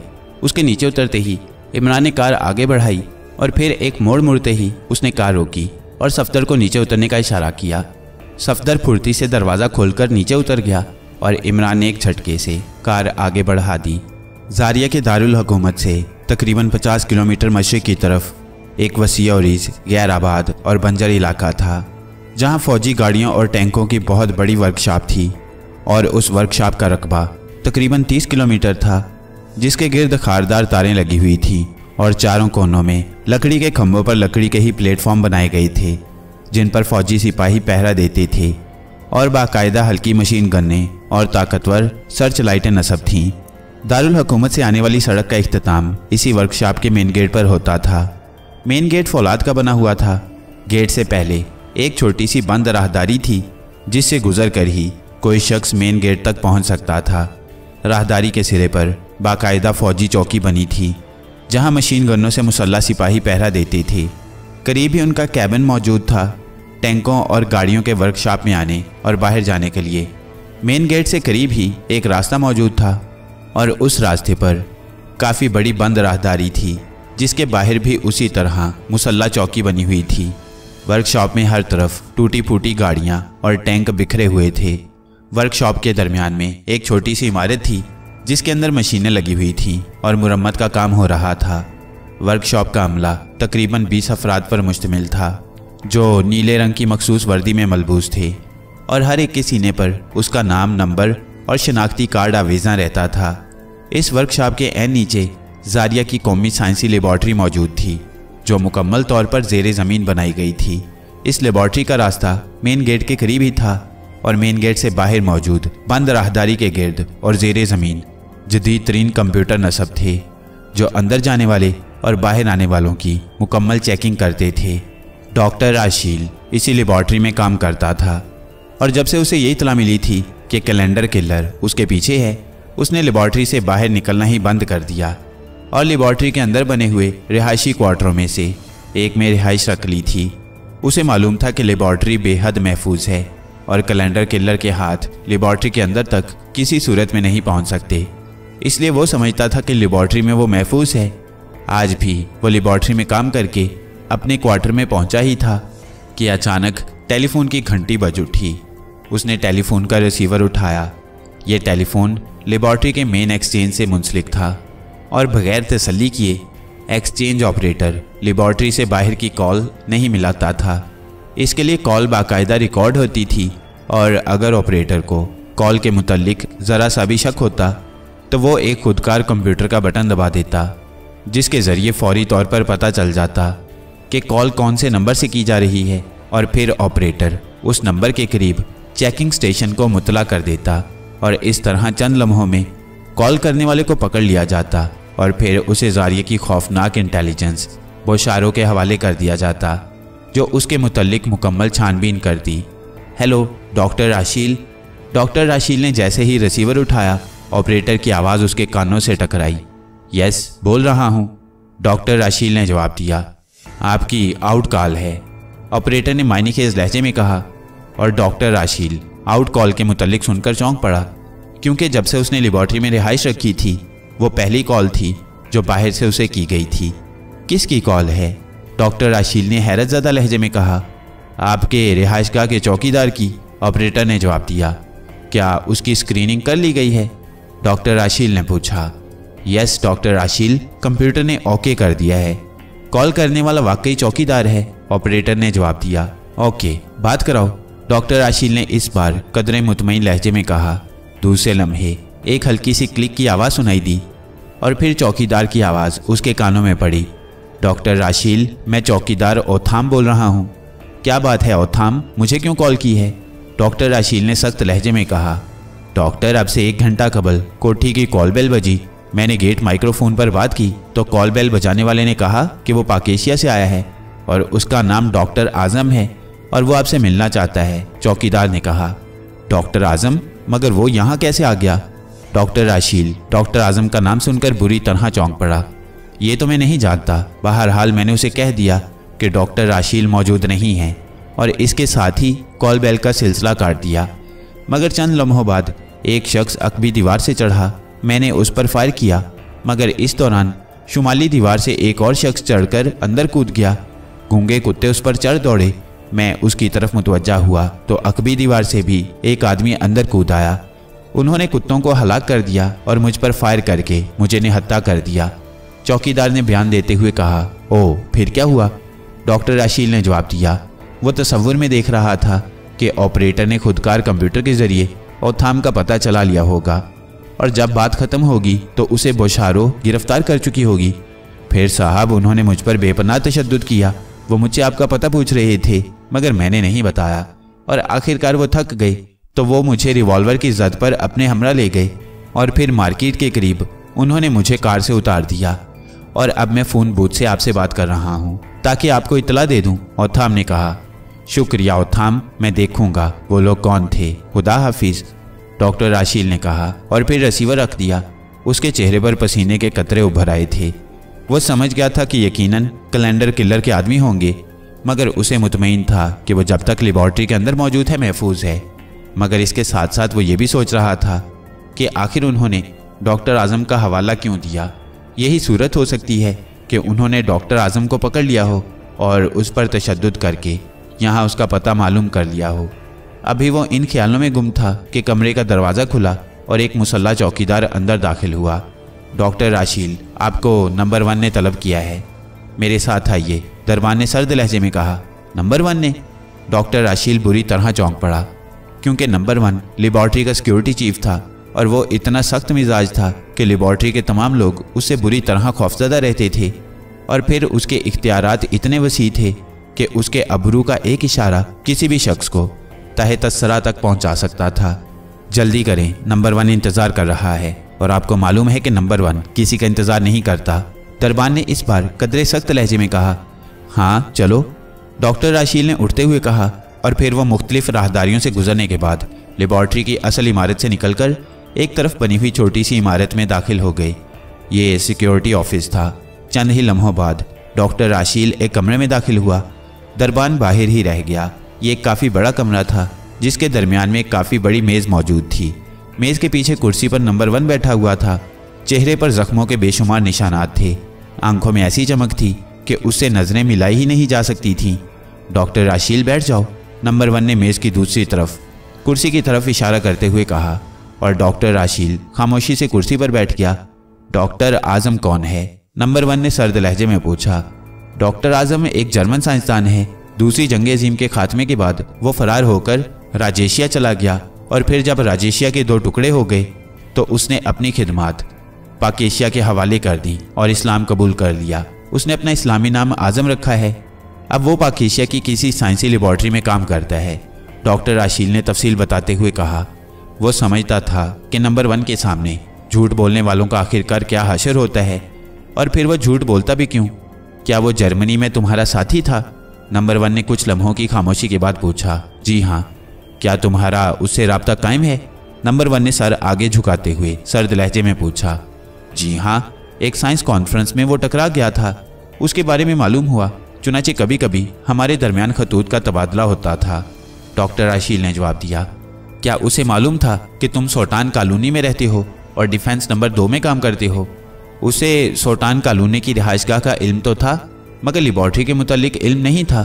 डॉक्टर राशील ने जवाब दिया। उसी लम्हे कमरे का दरवाज़ा खोला और एक नौजवान अंदर दाखिल हुआ। उसके हाथ में सुरख रंग की एक फ़ाइल मौजूद थी। उसने वो फ़ाइल नंबर वन के सामने रखी और फिर तेज तेज कदम उठाता कमरे से बाहर निकलता चला गया। नंबर वन ने फ़ाइल खोली और उसके मुताले में मसरूफ हो गया। डॉक्टर राशील खामोश बैठा रहा। चौकीदार ओथाम की चेकिंग रिपोर्ट के मुताबिक उसने आने वालों को यह बता दिया है कि तुम डिफेंस लेबॉर्ट्री नंबर दो में काम करते और यहीं रहते हो। नंबर वन ने फ़ाइल से नज़रें उठाते हुए कहा ओ मगर उसने मुझे तो यही बताया था कि उसने बेपना तशद के बावजूद कुछ नहीं बताया। डॉक्टर आशील ने चौंक कर कहा, वो बकवास कर रहा है, मगर बौशारों के चेकिंग कंप्यूटर के सामने भला वो कैसे झूठ बोल सकता था? बहरहाल उसने सब कुछ सच सच बता दिया है और रिपोर्ट के मुताबिक उसने हमलावरों को तुम्हारा फ़ोटो भी दिया है, नंबर वन ने कहा। मेरी तो समझ में ये बात ही नहीं आई कि आखिर हमलावर कौन थे? डॉक्टर आज़म का नाम उन्होंने क्यों इस्तेमाल किया? क्या मतलब? तुम कैसे कह सकते हो कि हमलावर डॉक्टर आज़म नहीं था? सिर्फ़ उसका नाम इस्तेमाल किया गया है। नंबर वन ने चौंकते हुए पूछा, इसलिए कि डॉक्टर आज़म एक साइंसदान है और फिर वो बूढ़ा आदमी है। वो ना ही दीवारें पार कर सकता है और ना ही लड़ाई कर सकता है। फिर आखिरी बात ये कि डॉक्टर आज़म को मेरा फ़ोटो लेने की क्या ज़रूरत थी, जबकि वो मुझे अच्छी तरह पहचानता है। खूब, तुम्हारी बात दुरुस्त है इस भी के चौकीदार के बयान के मुताबिक हमलावर नौजवान थे उनमें कोई बूढ़ा ना था और दूसरी बात यह कि उन्होंने चौकीदार पर तशद भी नहीं किया। तशद नहीं किया? तो फिर उसने ये सब कुछ क्यों बता दिया? डॉक्टर राशील ने हैरान होते हुए कहा, उसकी नाक को हमलावर ने चुटकी से इस अंदाज में मसला कि वह सब कुछ बताने पर मजबूर हो गया। इस बात से ज़ाहिर होता है कि हमलावर कोई पेशावर सीक्रेट एजेंट हैं। इस किस्म के हरबे ऐसे ही लोग इस्तेमाल करते हैं। नंबर वन ने जवाब दिया, पेशावर सीक्रेट एजेंट, मगर उनका मुझसे मतलब? डॉक्टर आशील ने हैरत भरे लहजे में कहा इसका मतलब तो तुम बताओगे कि आखिर पेशावर सीक्रेट एजेंट तुम्हें क्यों तलाश कर रही हैं? यह भी बता दूँ कि इसी रात डॉक्टर ब्लीड को भी ख़त्म कर दिया गया है। उसकी पूरी कोठी हैंड ग्रनेड से तबाह कर दी गई है। और तुम जानते हो कि डॉक्टर ब्लीड इसी लेबॉर्ट्री में काम करता है। नंबर वन ने सख्त लहजे में कहा, और डॉक्टर राशील ने सोचा कि अब वक्त आ गया है कि कैलेंडर किलर के मुतलिक सब कुछ बता दिया जाए, क्योंकि वो समझ गया था कि उसकी शख्सियत मशकूक हो चुकी है। अगर उसने ना बताया तो वो सब कुछ मालूम कर ही लेंगे। नंबर वन जहाँ तक मेरा ख्याल है, ये हमलावर कैलेंडर किलर के आदमी होंगे। डॉक्टर राशील ने जवाब दिया, कैलेंडर किलर, ये क्या बला है? नंबर वन ने चौंक कर पूछा, और फिर डॉक्टर राशील ने उसे ग्रुप और फिर कैलेंडर किलर के मुतलिक सब कुछ नंबर वन को तफसील से बता दिया। ओह तो ये चक्कर है। नंबर वन ने तवील सांस लेते हुए कहा हाँ नंबर वन जहाँ तक मैं समझा हूँ, यही बात है। डॉक्टर राशील ने जवाब दिया शुक्रिया डॉक्टर, आपने अच्छा किया कि सब कुछ तफसील से बता दिया। अब हम खुद ही कैलेंडर किलर से निपट लेंगे। आप मुतमिन रहें। नंबर वन ने इस बार नरम लहजे में कहा और डॉक्टर राशील ने बेख्तियार इतमान का सांस लिया। उसके सर से एक बला टल गई थी। शुक्रिया नंबर वन, मुझे यकीन है कि कैलेंडर किलर का हाथ इस लेबॉर्ट्री तक नहीं पहुँच सकता, डॉक्टर राशील ने कहा। सवाल ही पैदा नहीं होता। नंबर वन ने पूरे तुमाद लहजे में कहा और फिर हाथ के इशारे से डॉक्टर राशील को जाने की इजाज़त दे दी। डॉक्टर राशील उठा और कमरे से बाहर निकल गया। उसके चेहरे पर इत्मीनान था। उसे यकीन था कि अब कैलेंडर किल्लर नहीं बच सकती। बोशारों के हाथ बेहद लंबे थे। वो कैलेंडर किल्लर को ज़मीन की तह से भी खोद निकालेगी। बॉस और मार्टन गली में दौड़ते हुए जल्द ही एक बड़ी सड़क पर आ गए। उन्होंने इस दौरान चेहरों पर पहने हुए नकाब उतारकर जेबों में रख लिए थे। सड़क पर पहुँचते ही खुशकिस्मती से उन्हें खाली टैक्सी मिल गई। राल्फ होटल बॉस ने टैक्सी का दरवाज़ा खोलकर अंदर बैठते हुए कहा और मार्टन के बैठते ही ड्राइवर ने गाड़ी आगे बढ़ा दी। तकरीबन पंद्रह मिनट के सफ़र के बाद टैक्सी राल्फ होटल के गेट पर पहुँच गई। टैक्सी रुकते ही वो दोनों उतरे और फिर बॉस के इशारे पर मार्टन ने टैक्सी ड्राइवर को किराया अदा किया और वह उस वक्त तक वहीं रुके रहे। जब तक टैक्सी आगे बढ़कर दूसरी कारों के हजूम में ना शामिल हो गई, आओ, बॉस ने कहा और फिर वह मुड़कर तेज़ी से दाएँ तरफ़ चल पड़ा। राल्फ होटल की इमारत के अख्ताम पर एक गली थी। वो दोनों उस गली में घूमे और फिर एक इमारत के दरवाजे पर रुक गए।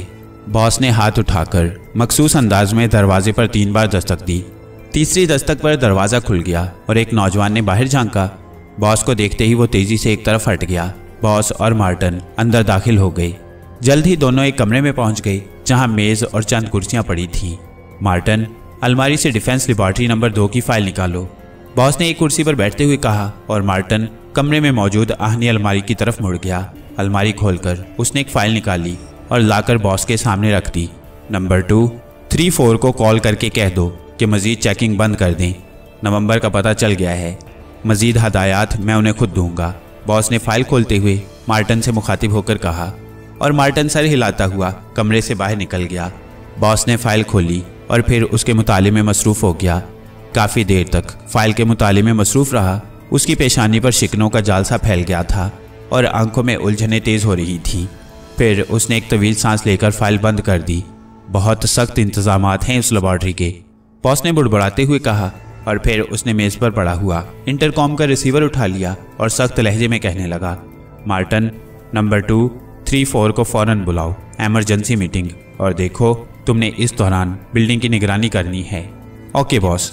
मार्टन की आवाज़ सुनाई दी और बॉस ने रिसीवर रख दिया और दोबारा फ़ाइल खोलकर उसके मुताले में मसरूफ़ हो गया। थोड़ी देर बाद कमरे में जू जू की आवाज़ें उभरी। बॉस ने चौंक कर कमरे के दरवाजे की तरफ़ देखा तो दरवाजे के ऊपर लगा हुआ सुरख बल्ब जल बुझ रहा था। बॉस ने मेज़ के किनारे पर लगा हुआ बटन दबा दिया। बटन दबते ही बल्ब बुझ गया और फिर खुद ब खुद दरवाज़ा खुलता चला गया। दरवाजे से तीन नौजवान अंदर दाखिल हुए। उन तीनों ने चेहरों पर नकाब पहने हुए थे। उनके अंदर आने पर दरवाज़ा उनकी पुश्त पर खुद ब खुद बंद हो गया और उन तीनों ने नकाब उतारकर जेबों में डाल लिए। आओ, बैठो। बॉस ने उन तीनों से मुखातिब होकर कहा और वो खामोशी से कुर्सियों पर बैठ गए।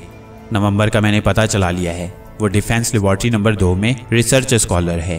बॉस ने उनसे मुखातिब होकर कहा, यस, बॉस, मार्टन ने हमें इतला दे दी थी।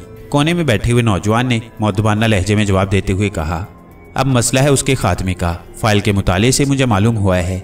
कि डिफेंस लिबार्ट्री नंबर दो, जेर ज़मीन है। उसके इर्द गिर्द फौजी गाड़ियों और टैंकों की वर्कशॉप है।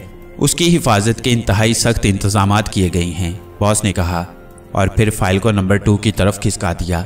नंबर टू ने सरसरी नज़र फ़ाइल पर डाली, और फिर उसे नंबर थ्री की तरफ़ खिसका दिया। नंबर थ्री चंद लम्हे गौर से उसे पढ़ता रहा, फिर उसे नंबर फोर की तरफ़ बढ़ा दिया। नंबर फोर ने भी उसे देखने में चंद लम्हे लगाए, और फिर एक तवील सांस लेते हुए फ़ाइल वापस बॉस की तरफ़ खिसका दी। क्या ख्याल है? अब मिशन मुकम्मल करने के लिए क्या किया जाए? बॉस ने फ़ाइल अपनी तरफ़ खिसकाते हुए कहा, हमें कोई वाज मनसूबा तैयार करना चाहिए, बॉस।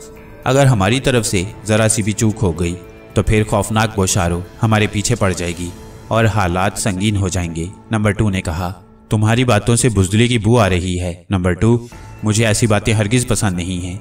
हमें हर हाल में अपना मिशन मुकम्मल करना है। ये मिशन हमारे लिए मुकदस हैसियत रखता है। इस सिलसिले में अगर हमारी जानें भी चली जाएँ तो हमें ज़रा बराबर भी परवाह नहीं करनी चाहिए। बॉस ने इंतहाई सख्त लहजे में जवाब देते हुए कहा, मेरा ये मतलब नहीं था बॉस मुकदस मिशन के लिए। हमें अपनी जानों की भी परवाह नहीं। जनवरी से लेकर अक्टूबर तक की मौत के सिलसिले में आपने हमारी कारकर्दगी देखी ही है। मेरा मतलब ये था कि हमें वार इतना भरपूर करना चाहिए कि दूसरे वार की नौबत ही ना आए। नंबर टू ने कहा, ठीक है, मैं समझ गया। जहाँ तक मेरा ख्याल है, हम अगर लेबॉर्ट्री पर बराह रास्त हमला करें तो इस तरह नवंबर की मौत बेहद मुश्किल है। इसलिए बेहतर यही है कि किसी तरह नवंबर को लेबॉर्ट्री से बाहर निकलने पर मजबूर कर दिया जाए। फिर वो हमारा आसान शिकार होगा, बॉस ने सर हिलाते हुए कहा। दूसरी सूरत यह भी है कि उसे अगवा कर लिया जाए, नंबर फोर ने कहा। हाँ ऐसा भी हो सकता है, बॉस ने सर हिलाते हुए कहा। फिर चंद लम्हों तक कमरे में खामोशी रही। सब किसी गहरी सोच में गर्क थे। इस सिलसिले में मेरे जहन में एक मनसूबा आया है। अचानक नंबर थ्री ने कहा हाँ कहो। बॉस ने चौंक कर कहा, और नंबर थ्री ने अपना मनसूबा बयान करना शुरू कर दिया, और सबके चेहरे खुशी से खिल उठे। ओके अच्छा मनसूबा है। इसकी तफसीलात तय कर ली जाएँ, ताकि कल से इस पर बाकायदा काम शुरू हो जाए। बॉस ने मुसरत भरे लहजे में कहा, और फिर वो सब तफसीलात तय करने में मसरूफ हो गए। सफ्तर कार से उतरते ही तेज़ी से वापस मुड़ा। और फिर वो मोड़ मुड़कर उसी जगह पर आ गया, जहाँ चौकीदार को उतारा गया था। चंद लम्हे वो इधर उधर देखता रहा। फिर उसे दूर सड़क पर चौकीदार के पहने हुए मखसूस कोट की झलक नज़र आ गई। सफ्तर तेज़ी से उसके ताकुब में चल पड़ा। चौकीदार मुख्तलिफ़ सड़कों से गुजरने के बाद मेन मार्केट में आ गया। उसने एक बार फिर मुड़कर नहीं देखा था, इसलिए सफ्तर इतमान से उसका ताकुब कर रहा था। मेन मार्केट के आखिरी सिरे पर एक पब्लिक फ़ोन था। चौकीदार बूथ का दरवाज़ा खोलकर अंदर दाखिल हो गया। सफ्तर उस वक्त करीब ही था। उसने बड़ी फुर्ती से कदम बढ़ाए और फिर वह बूथ के कोने से कंधा लगाकर खड़ा हो गया। वहाँ से चौकीदार तो उसे नहीं देख सकता था, मगर सफ्तर को वो साफ़ नज़र आ रहा था। फिर सफ्तर ने उसे नंबर डायल करते देखा और वह नंबर याद करता चला गया। बूथ का दरवाज़ा ज़रा सा खुला था, इसलिए अंदर से आवाज़ सुनाई दे रही थी। फिर सफ्तर ने चौकीदार की डॉक्टर राशील से तमाम बातचीत पूरी तरह सुन ली। अभी चौकीदार फारिग नहीं हुआ था कि अचानक सफ्तर की छठी हिस्स खतरे का अलार्म बजा दिया। वो चौंक पड़ा। बूथ के साथ ही किताबों और अखबारों का स्टॉल था। सफ्तर ने लाशौरी तौर पर उसकी तरफ़ कदम बढ़ाई और फिर एक अखबार उठाकर देखने लगा। फिर उसका ख्याल दुरुस्त साबित हुआ। इससे पहले कि चौकीदार बूथ से बाहर निकलता, स्याह रंग की तेज कारें इंतहाई तेज रफ्तारी से बूथ के करीब आकर रुकी और फिर उनमें से मुसल्ला अफराद बाहर आ गए। उन्होंने बाकायदा नीले रंग की यूनिफॉर्म पहन रखी थी। ओह, बोशारो, मगर यहाँ क्या हुआ है? स्टॉल के मालिक ने बुड़बुड़ाते हुए कहा, उसकी आँखों में खौफ के साय लहरा रही थी। कारों से निकलने वाले मुसल्ला अफराद ने बूथ का दरवाज़ा एक झटके से खोला और दूसरे लम्हे उन्होंने चौकीदार को बाजू से पकड़कर घसीट लिया और फिर चीखते चिल्लाते चौकीदार को उन्होंने उठाकर एक कार में फेंका और चंद लम्हों बाद कारें तेज रफ्तारी से चलती हुई सफदर की नज़रों से गायब हो गई। शुक्र है, मामला एक ही आदमी की गिरफ्तारी तक महदूद रहा। स्टॉल के मालिक ने इतमान का सांस लिया। मगर ये लोग कौन हैं? इन्होंने बड़ी बेदर्दी से उस आदमी को घसीटा है। सफ्तर ने हैरत ज़्यादा लहजे में कहा, आप शायद यहाँ अजनबी हैं। स्टॉल के मालिक ने सफ्तर से मुखातिब होकर कहा हाँ मैं राजेशिया का रहने वाला हूँ। सफ्तर ने जानबूझकर राजेशिया का नाम लिया था, क्योंकि जारिया और राजेशिया के ताल्लुकात बेहद अच्छे थे। ये यहाँ की इंटेलिजेंस बोशारों के आदमी थे। खौफनाक बोशारो, जो इंतहाई ताकतवर है और जिसके इख्तियार लामहदूद हैं। स्टॉल के मालिक ने रिसालों की तरतीब दुरुस्त करते हुए दबे लहजे में कहा, ओ तो ये बात है। सफ्तर ने जवाब दिया और फिर अखबार की कीमत अदा करके वो आगे चल पड़ा। वो सोच रहा था कि वो बाल बाल बचा है। अगर वो वहीं बूथ के साथ लगा रहता तो यकीनन बोशारो मशकूक हो जाती और फिर वो यकीनन उनके पंजे में फंस जाता। बोशारों के मुतलिक उसने बेशुमार कहानियाँ सुनी थी। ये लोग बेहद शफाक और जालिम वाक़ हुए थे। अपना मतलब निकालने के लिए ये हर हद से गुजर जाते थे। बहरहाल उसका काम पूरा हो गया था। उसे वो नंबर मालूम हो गया था, जिस पर चौकीदार ने बात की थी। इसलिए वो वापस उसी होटल की तरफ़ चल पड़ा, जहाँ इमरान और वो रिहाइश पजीर थे। थोड़ी देर बाद वह इमरान के कमरे में मौजूद था। कैप्टन शकील पहले ही से वहाँ बैठा हुआ था और सफ्तर ने तफसील से सारी बात बता दी। हूँ तो इसका मतलब है बात बोशारों तक पहुँच गई और अब डॉक्टर राशील की भी शामत आ जाएगी। उसे कैलेंडर किलर के मुतलिक सब कुछ बोशारों को बताना पड़ेगा। और फिर जहाँ डॉक्टर राशिल की हिफाजत के इंतज़ाम सख्त हो जाएँगे, वहाँ बोशारो भी कैलेंडर किलर के पीछे लग जाएगी। इमरान ने कुछ सोचते हुए कहा, मेरे ख्याल में तो ये अच्छा हुआ है। बोशारो के हाथ बेहद लंबे हैं। वह जल्द ही कैलेंडर किलर को ढूंढ निकालेंगे। और फिर उसका खात्मा यकीनी है? कैप्टन शकील ने कहा, इसकी दूसरी सूरत भी है कि कैलेंडर किलर बोशारो की वजह से घबराकर नवंबर को कत्ल करने की बजाय दिसंबर का खात्मा करने का पहले फैसला कर ले इस तरह उसे दो फ़ायदे होंगे। बोशारो वक्त गुजरने के साथ मुतमिन हो जाएगी और डॉक्टर राशील भी। कैलेंडर किलर बाद में डॉक्टर राशील को आसानी से शिकार बना लेगा। इमरान ने जवाब दिया हाँ इस बात का खदशा तो मौजूद है, सफदर ने सर हिलाते हुए कहा। इसलिए मैं चाहता हूँ कि कैलेंडर किलर को अपने मुल्क में पहुँचने से पहले ही दबोच लूँ, इमरान ने कहा। मगर इसकी क्या सूरत होगी? कैलेंडर किलर के मुतालिक अभी तक कोई क्लू ही नहीं मिल सका, कैप्टन शकील ने कहा। इसकी एक ही सूरत है कि किसी तरह हम डॉक्टर आशील की जगह ले लें। मुझे यकीन है कैलेंडर किलर डॉक्टर आशील पर लेबॉर्ट्री के अंदर हाथ नहीं डालेगा। वो उसे अगवा करने की कोशिश करेगा। यही एक तरीका है जिससे हम कैलेंडर किलर का क्लू लगा सकते हैं, इमरान ने सर हिलाते हुए कहा। ठीक है सफ्तर और कैप्टन शकील ने सर हिलाते हुए कहा। इमरान चंद लम्हे कुछ सोचता रहा, फिर उसने उन्हें वहीं बैठने के लिए कहा और खुद उठकर कमरे से बाहर चला गया। तकरीबन आधे घंटे बाद वो वापस लौटा। उसने जेब से तीन फ़ोटो निकालकर मेज पर रख दिए। ये तीनों लेबॉर्ट्री में डिफेंस रिसर्च स्कॉलर हैं। हमें इनका मेकअप करना होगा। इमरान ने मुस्कुराते हुए कहा, मगर इमरान साहब, आपको इनके मुतलिक कैसे मालूम हो गया? और फ़ोटो भी? सफ्तर ने हैरत भरे लहजे में कहा, ये सब तुम्हारे चूहे बॉस के कारनामे हैं। उसने यहाँ भी एक ग्रुप कायम कर रखा है। इमरान ने मुस्कुराते हुए जवाब दिया और उन दोनों के हलक से तवील सांस निकल गई। फिर इमरान ने खुद उन दोनों का और फिर अपना मेकअप किया और फिर उनके मुतलिक तमाम तफसीलात बताने लगा। हमें कल सुबह लेबॉर्ट्री में दाखिल होना है, समझे? और सुनो, किसी हंगामी सूरत हाल में सेंटर स्पॉट कॉलोनी की कोठी नंबर 120 जायपना होगी। कोड एक्स टू ही हो। इमरान ने कहा और सफ्तर और कैप्टन शकील ने सर हिला दिए। लेबॉर्ट्री के सिक्योरिटी रूम में उस वक्त तीन अफराद मौजूद थे। एक कुर्सी पर लेबॉर्ट्री का सिक्योरिटी चीफ नंबर वन बैठा हुआ था। जबकि उसके सामने बोशारों के दो आला हुक्काम मौजूद थे। नंबर वन का ताल्लुक भी बुनियादी तौर पर बोशारों से ही था, मगर चूँकि वो अहदे में उन दोनों से बड़ा था, इसलिए उस वक्त उसकी सरबराही में ये जलास जारी था। हमें हर कीमत पर कैलेंडर किलर को गिरफ़्तार करना पड़ेगा। नंबर वन ने मेज पर ज़ोर से मुक्का मारते हुए कहा, देखो नंबर वन, तुम इस बात को अच्छी तरह समझते हो कि कैलेंडर किलर फ़िलहाल एक नाम है। जब तक वो खुलकर सामने ना आए, हम कुछ नहीं कर सकते। इसलिए हमें उसे सामने लाने के लिए जाल बिछाना पड़ेगा।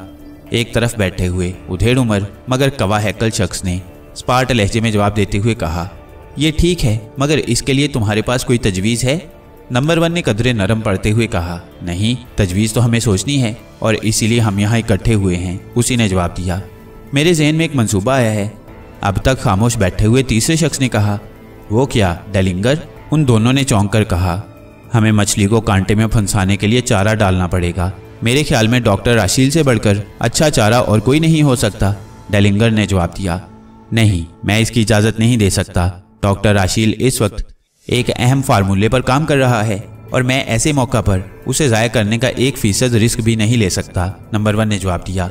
तो इसकी एक सूरत और भी है। दूसरे शख्स ने चौंक कर कहा, उसकी आँखों में मुसरत के चिराग जल उठे थे। वो क्या? नंबर वन ने कहा हम किसी और शख्स को डॉक्टर राशील का मेकअप करके लेबॉर्ट्री से बाहर निकाल देते हैं। इस तरह कैलेंडर किलर भी सामने आ जाएगा और डॉक्टर राशील भी खतरे में नहीं पड़ेगा, दूसरे आदमी ने कहा। मेरे ख्याल में इसके लिए बोशारो का एजेंट नंबर 303 बहुत मुनासिब रहेगा। वो कदो कामत और उम्र में डॉक्टर राशील से मिलता जुलता है और फिर वो आसानी से मार खाने वाला भी नहीं। नंबर वन ने कुछ सोचते हुए कहा, बहुत अच्छा इंतखाब है नंबर वन मैं इसकी तायद करता हूँ। दूसरे ने जवाब दिया और डेलिंगर ने भी उसकी तायद में सर हिला दिया। मगर डेलिंगर के चेहरे से ये ज़ाहिर हो रहा था कि उसे मंसूबा कुछ ज़्यादा पसंद नहीं आया। तो ठीक है, बात तय हो गई। तुम 303 को फौरी तौर पर कॉल करो। मैं खुद अपनी निगरानी में उसका मेकअप कराऊँगा और फिर वो एक रात डॉक्टर आशील के साथ गुजारेगा, ताकि अच्छी तरह उसकी हरकतों सकनात और अंदाजे गुफ्तु से वाकिफ हो जाए। फिर सुबह हम उसे बीमार ज़ाहिर करके जनरल अस्पताल दाखिल कर देंगे, नंबर वन ने कहा। वो क्यों? उन दोनों ने चौंक कर कहा। इस तरह हम बसानी कैलेंडर किलर को चेक कर सकते हैं, क्योंकि उसकी सरगर्मियाँ महदूद हो जाएँगी नंबर वन ने कहा। लेकिन अगर उसे डॉक्टर आशील के अस्पताल में दाखिल होने का इल्म ना हुआ तो दूसरे शख्स ने कहा, ऐसा कैसे हो सकता है? जो लोग किसी मिशन के लिए चलते हैं, वो हर लहजा की खबर रखते हैं। नंबर वन ने नागवार लहजे में कहा, ओके, ठीक है। दूसरे ने सर हिलाते हुए कहा, और फिर उसने मेज़ पर पड़ा हुआ टेलीफोन अपनी तरफ़ खिसका लिया। रिसीवर उठाकर उसने ऑपरेटर को अपनी शिनाख्त कराई और फिर बोशारो हेडक्वार्टर बात कराने का हुक्म दिया। चंद ही लम्हों बाद रबता कायम हो गया। बाशाम स्पीकिंग 303 को फ़ौरन कॉल करके डिफेंस लेबॉर्ट्री नंबर दो के मेन गेट पर भेज दो। यहाँ कोड गोल्डन फ़िश होगा। बाशाम ने रबता कायम होते ही सख्त लहजे में अहकाम देते हुए कहा, ओके बॉस। दूसरी तरफ़ से कहा गया और बाशाम ने रिसीवर रख दिया। नंबर वन गेट पर हदायत दे दो। कोड गोल्ड फ़िश बादशाह ने नंबर वन से मुखातिब होकर कहा और नंबर वन ने सर हिलाते हुए रिसीवर अपनी तरफ़ खिसकाया और फिर वो 303 की आमद के बारे में हदायत देने लगा। जब उसने रिसीवर रखा तो डेलिंगर ने कहा, अब हमें डॉक्टर राशील की निगरानी की तफसीलात तय कर लेनी चाहिए। मैं चाहता हूँ इस सिलसिले में कोई झोल ना रहे, उसकी निगरानी का इंचार्ज मैं रहूँगा। और फिर वो तीनों तफसीलात तय करने में मसरूफ़ हो गए। सूरज अभी तलू नहीं हुआ था कि लेबॉर्ट्री की तरफ़ जाने वाली सड़क पर कारों और वैगनों की एक तवील कितार नज़र आने लगी। लेबॉर्ट्री में काम करने वाले अपनी अपनी ड्यूटी पर जा रहे थे। उन्हीं में एक दूसरे के पीछे चार कारें भी रिंगती हुई नज़र आ रही थीं। सबसे आगे वाली कार में कैलेंडर किलर सवार था, उसके पीछे नंबर टू और इसी तरह नंबर थ्री और नंबर फोर थे। उन्होंने रात को चार साइंसदानों को मुंतखब कर लिया था और वो साइंसदान अगली दुनिया में पहुँच चुके थे, जबकि वो उनके रूप में लेबॉर्ट्री की तरफ़ बढ़े चले जा रहे थे। उन्होंने साइंसदानों पर बेपना तशद करके उनसे लेबॉर्ट्री के मुतलिक और ख़ुद उनके मुतलिक सब कुछ उगलवा लिया था। इसलिए वो बेहद मुतमिन थे। उन्होंने जोलम मेकअप किया था। ये एक जदीद तरीन मेकअप था, जिसके मुतलिक उसके मुल्क का दावा था कि इंसान तो इंसान कंप्यूटर भी इसे चेक नहीं कर सकते। जल्द ही कैलेंडर किलर की कार मेन गेट के सामने पहुँच गई। सिक्योरिटी के अफराद ने हाथ में पकड़ी हुई मशीनों से एक लम्हे में उसकी कार को चेक किया और फिर सिक्योरिटी वालों ने उसे आगे बढ़ने का इशारा किया। और कैलेंडर किलर ने कार उस बंद राहदारी में बढ़ा दी। जिसमें चेकिंग कंप्यूटर लगे हुए थे। कार आहिस्ता आहिस्ता राहदारी क्रॉस करती चली गई और राहदारी में दोनों तरफ़ सबज रंग के बल्ब जलते गए।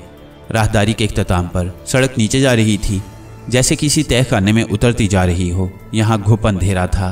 कैलेंडर किलर कार की हेडलाइट्स की रोशनी में आगे बढ़ा चला जा रहा था। फिर उस सुरंग का अख्ताम एक दरवाजे पर हुआ।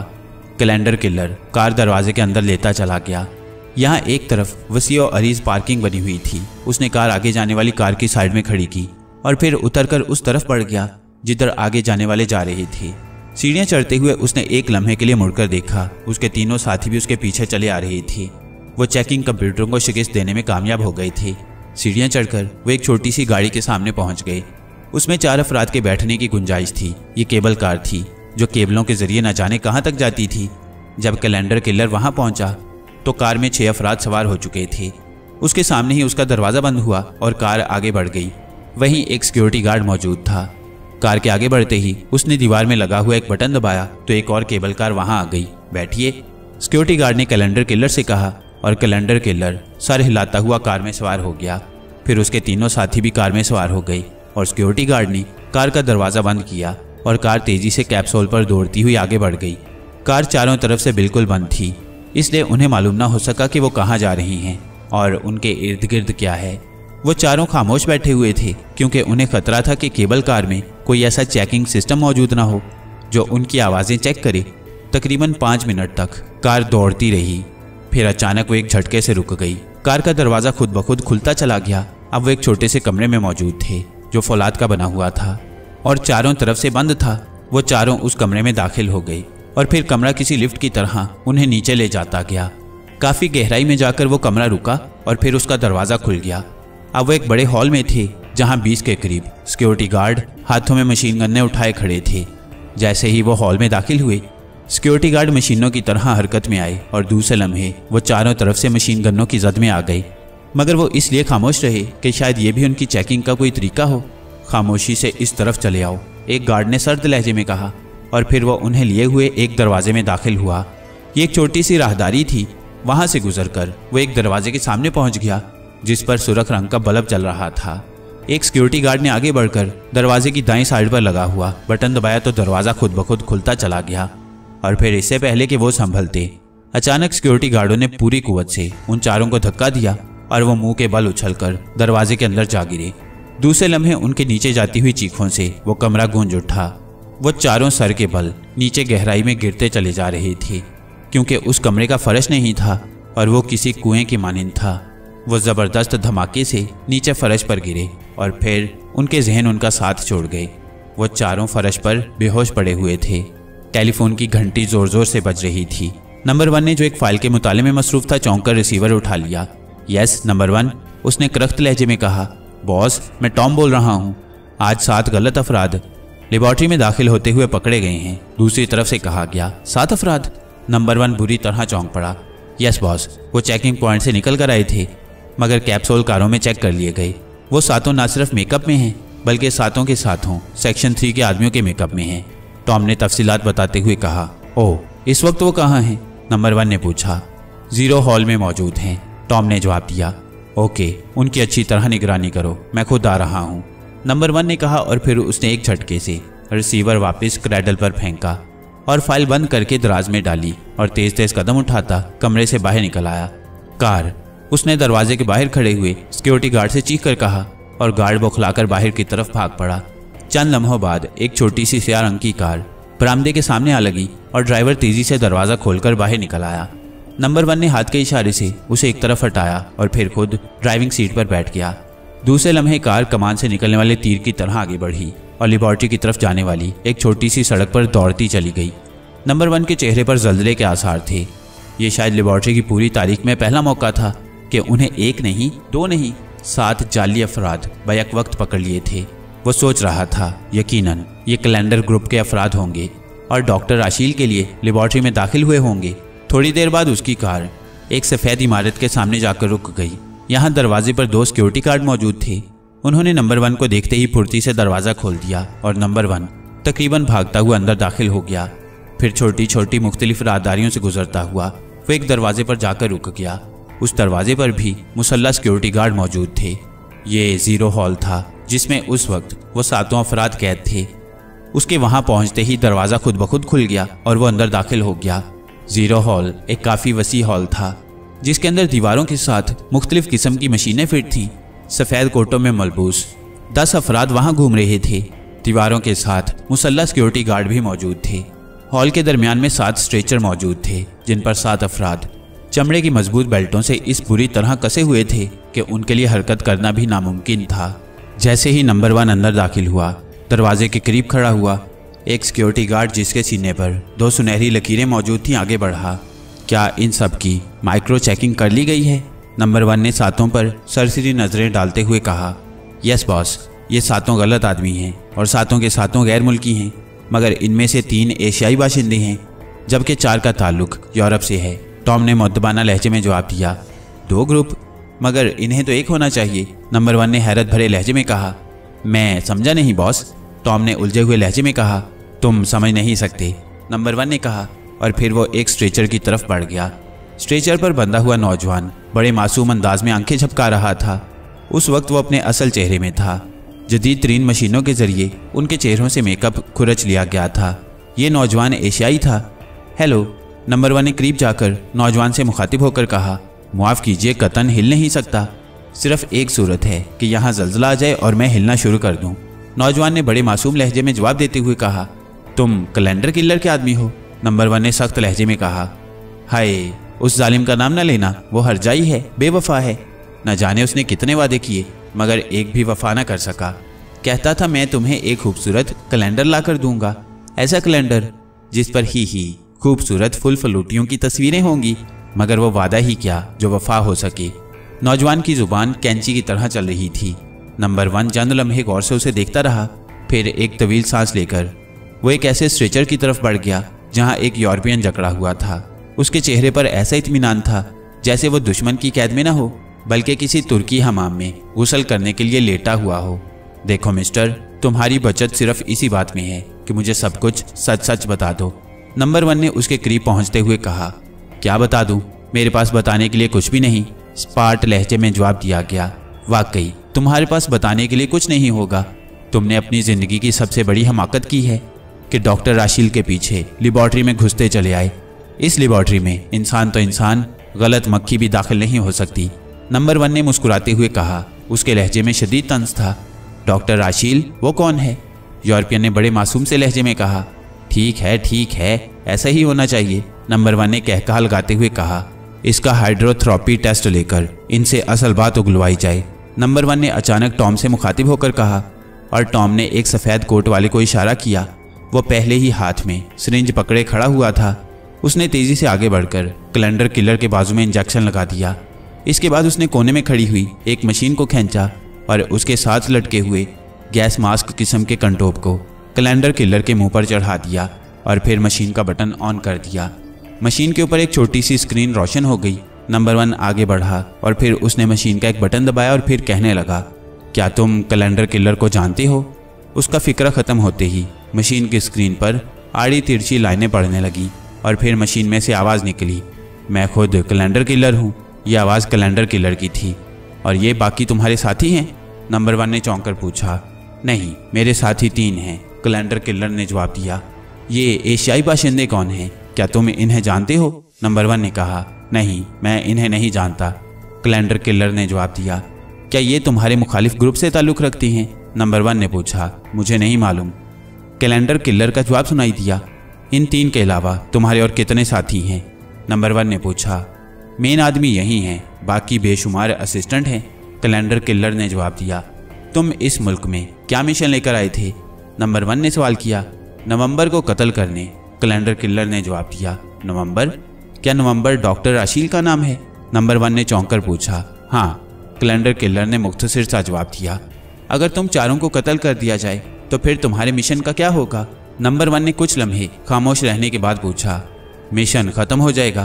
कैलेंडर किलर ने जवाब दिया, क्या तुम्हारी जगह और अफराद नहीं लेंगे? नंबर वन ने पूछा, नहीं, हमने अपने तौर पर यह ग्रुप बनाया है। हमारी हुकूमत का इससे कोई ताल्लुक नहीं है। कैलेंडर किलर ने जवाब दिया, फिर नंबर वन ने कोई और सवाल पूछने की बजाय सफ़ेद कोट वाले को इशारा किया और उसने मशीन ऑफ़ करके कंटोप कैलेंडर किलर के मुँह से हटा लिया। कैलेंडर किलर खामोश पड़ा पलकें छपका रहा था, जैसे उसे एहसास ही ना हो कि वो क्या कह गया है। इन चारों के स्टैंड खड़े कर दो। नंबर वन ने टॉम से मुखातिब होकर कहा, और फिर उसके इशारे पर, सफ़ेद कोट वाले ने आगे बढ़कर उन सबके स्ट्रेचरों की साइड पर लगे हुए बटन दबा दिए। बटन दबते ही स्ट्रेचर उसकी हालत में खड़े हो गए अब वो चारों इस पोजीशन में थे, जैसे सतूनों से बंदे खड़े हों। इन्हें गोलियों से छलनी कर दो। नंबर वन ने अचानक सख्त लहजे में कहा और फिर इससे पहले कि उसका फिक्रा मुकम्मल होता, अचानक कमरा मशीन गनों की रिट रिट से गूंज उठा और इसके साथ ही उन चारों के हलक से खौफनाक चीखें निकल गईं। उनके जिसम वाकई छलनी हो गए थे। वो चारों चंद लम्हे तड़पने के बाद ठंडे हो गए नंबर वन ने एक तवील सांस लिया और फिर हाथ के इशारे से उनकी लाशें हटाने के लिए कहा। सिक्योरिटी गार्ड ने बड़ी फुर्ती से स्ट्रेचर नीचे किए और फिर उन्हें पहियों पर दौड़ाते कमरे से बाहर निकल गए। अब कमरे में इमरान, कैप्टन शकील और सफ्तर बाकी रह गई थी। इमरान के चेहरे पर तो अजली इत्मीनान बदस्तूर मौजूद था। अलबत् कैप्टन शकील और सफ्तर की आँखों से परेशानी के आसार नुमाया थे। अब तुम बताओ कि तुम कौन हो और तुमने लेबॉर्ट्री में दाखिल होने की हमाकत क्यों की? नंबर वन ने बड़े तंजिया लहजे में कहा, तुमने कभी पाकिशिया के वज़ीर अजम का नाम सुना है? अचानक इमरान ने कहा ओह तो वो तुम थे जो डॉक्टर राशील की कोठी पर हमलावर हुए थे। नंबर वन चौंक पड़ा। हमलावर के लफज से मुझे इख्तलाफ है। हमने तो कॉल बेल बजाई थी, मगर चौकीदार ने साफ़ जवाब दे दिया। मजबूरन हमें दीवार पर चढ़कर अंदर जाना पड़ा। इमरान ने बड़े इतमान से कहा, मगर तुम तो एशियाई हो, जबकि डॉक्टर आज़म बुनियादी तौर पर जर्मन बाशिंदा था। नंबर वन ने उलझे हुए लहजे में कहा, मेरे वालिद एशियाई ही थे। इमरान ने बड़ी संजीदगी से जवाब दिया, मुझे यकीन नहीं आ रहा, नंबर वन का लहजा बदस्तूर उलझा हुआ था। डॉक्टर राशील की गवाही ले लो। इमरान ने कहा, ओ, ये ठीक है। नंबर वन ने जवाब दिया और फिर उसने टॉम से मुखातिब होकर कहा, डॉक्टर राशील को यहाँ ले आओ, फ़ौरन। और टॉम उसकी बात सुनते ही तेज़ी से कमरे से बाहर निकलता चला गया। तकरीबन दस मिनट बाद कमरे का दरवाज़ा खुला और फिर टॉम के साथ डॉक्टर राशील अंदर दाखिल हुआ। उसके चेहरे पर उलझन और परेशानी नुमाया थी। डॉक्टर राशील, ये सामने बेड पर लेटे हुए नौजवान को तुम पहचानते हो? नंबर वन ने इमरान की तरफ़ इशारा करते हुए कहा, डॉक्टर राशील ने चंद लम्हे बगौर इमरान को देखा और फिर नफ़ी में सर हिला दिया। डॉक्टर राशील, तुम्हारी नज़र कमज़ोर हो गई है क्या? कि अब अपने पुराने दोस्त डॉक्टर आज़म को भी नहीं पहचान सकते? इमरान ने मुस्कुराते हुए कहा, डॉक्टर आज़म? डॉक्टर राशील ने चौंक कर कहा और फिर दो कदम आगे बढ़कर एक बार फिर इमरान को गौर से देखने लगा।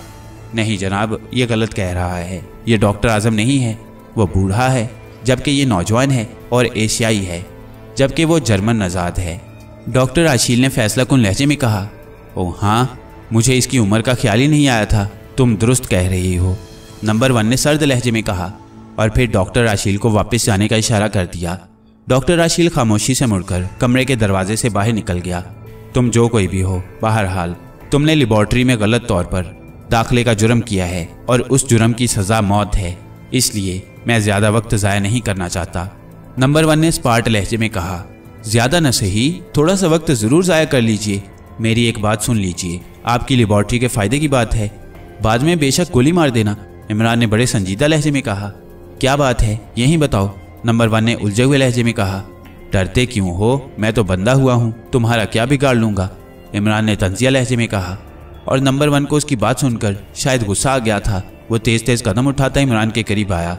और गैर इख्तियारी तौर पर झुककर कहने लगा, क्या बात है?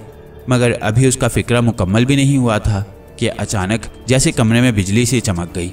दूसरे लम्हे नंबर वन की गर्दन इमरान के बाजू में जकड़ी हुई थी और इमरान स्ट्रेचर समेत सीधा खड़ा था। उसका एक हाथ नंबर वन की गर्दन में था, जबकि दूसरा उसकी कमर के गिर्द लिपटा हुआ था। नंबर वन का जिसम इमरान के जिसम के एन सामने था। खबरदार, अगर किसी ने हरकत की तो तुम्हारे बॉस की गर्दन टूट जाएगी। इमरान के लहजे में जख्मी चीते जैसी गुर्राहट थी और इसके साथ ही उसने नंबर वन की गर्दन में लिपटे हुए बाजू को जोरदार झटका दिया और नंबर वन के मुँह से बेख्तियार घुटी घुटी सी चीख निकल गई। कमरे में मौजूद तमाम मुसल्ला अफराद हैरत के मारे बुत बने खड़े थे। अपने आदमियों को कहो, हथियार फेंक कर कमरे से बाहर निकल जाएँ, वरना इस बार मैं तुम्हारी गर्दन तोड़ दूँगा। इमरान का लहजा बेहद सख्त था और नंबर वन को मजबूरन यह हुक्म देना पड़ा। नतीजे में तमाम मुसल्ला अफराद हथियार फेंक कर कमरे से बाहर निकल गई। सफ़ेद कोट वाला बाहर जाने लगा तो इमरान ने उसे रोक दिया। तुम मेरे साथियों को खोल दो। खबरदार, अगर कोई गलत हरकत की तो इमरान ने सख्त लहजे में कहा और सफ़ेद कोट वाला खामोशी से आगे बढ़ा और फिर उसने सफदर और कैप्टन शकील को खोल दिया। सफदर मेरी कमर और गर्दन के गिर्द बंधी हुई बेल्ट खोल दो। इमरान ने सफ्तर से मुखातिब होकर कहा और सफ्तर ने आगे बढ़कर दोनों बेल्टिंग खोल दी। अब इमरान, स्ट्रेचर की गिरफ्त से आज़ाद हो गया था। सफ्तर और कैप्टन शकील ने आज़ाद होते ही मशीन गन्ने उठा ली थी और उन्होंने सफ़ेद कोट वाले को कवर कर लिया था। तुम लेबॉर्ट्री से बचकर नहीं जा सकते, नंबर वन ने कहा। मगर इमरान ने जवाब देने के बजाय अचानक उसकी कमर से लिपटा हुआ हाथ निकालकर पूरी कुवत से उसकी कनपट्टी पर जरब लगाई और दूसरे लम्हे नंबर वन लहराकर उसके हाथों में झूल गया। इमरान ने खामोशी से उसे नीचे लिटा दिया। इमारत के बाहर जीपों, कारों और लोगों का शोर बढ़ता जा रहा था। मगर इमरान बड़े इतमान से काम कर रहा था। उसने सफ़ेद कोट वाले से मुखातिब होकर कहा, तुम दीवार की तरफ़ मुँह करके खड़े हो जाओ। इमरान का लहजा बेहद सख्त था। सफ़ेद कोट वाले ने दीवार की तरफ़ मुँह कर लिया। वो किसी अच्छे बच्चे की तरह हुक्म की तामील कर रहा था। इमरान ने उसके करीब खड़े सफदर को मखसूस इशारा किया और सफदर का हाथ अचानक फिजा में लहराया और दूसरे लम्हे सफ़ेद कोट वाला भी ज़मीन पर लेट चुका था। सफदर का एक ही हाथ इतना जचा तुला पड़ा था कि उसे बेहोश करने के लिए दूसरे की नौबत ही ना आई थी। सफदर, तुम इस कोट वाले का लिबास पहन लो, जल्दी करो। इमरान ने कहा, और फिर खुद उसने नंबर वन का लिबास उतारना शुरू कर दिया। चंद लम्हों बाद वो दोनों लिबास तब्दील कर चुके थे। फिर इमरान ने अपने सर पर हाथ फेरा तो बालों की विग उतरती चली गई। विग के अंदर झिल्ली के साथ एक चपटा सा मेकअप बॉक्स मौजूद था। इमरान ने वो बॉक्स निकाला, और फिर तेज़ी से अपने आप पर नंबर वन का मेकअप करने में मसरूफ हो गया। चंद लम्हों बाद उसकी शक्ल हु बहू नंबर वन जैसी हो चुकी थी। बालों का न सिर्फ़ रंग तब्दील हो चुका था, बल्कि वह नंबर वन के बालों की तरह भी बन चुके थे। फिर इमरान ने सफदर पर सफ़ेद कोट वाले का मेकअप करना शुरू कर दिया। इस तरह उसने नंबर वन पर अपना और सफ़ेद कोट वाले पर सफदर का मेकअप कर दिया। अब फर्श पर इमरान और सफदर बेहोश पड़े थे, जबकि नंबर वन और सफ़ेद कोट वाले रूप में इमरान और सफ्तर खड़े हुए थे। कैप्टन शकील खड़ा ये सब तमाशा देख रहा था। इमरान ने मेकअप से फारिग होकर उसकी तरफ़ देखा। कैप्टन, इधर आओ। इमरान का लहजा बेहद सख्त था। कैप्टन शकील खामोशी से चलता हुआ उसके करीब आया और फिर इससे पहले कि वो संभलता, इमरान का हाथ अचानक हरकत में आया।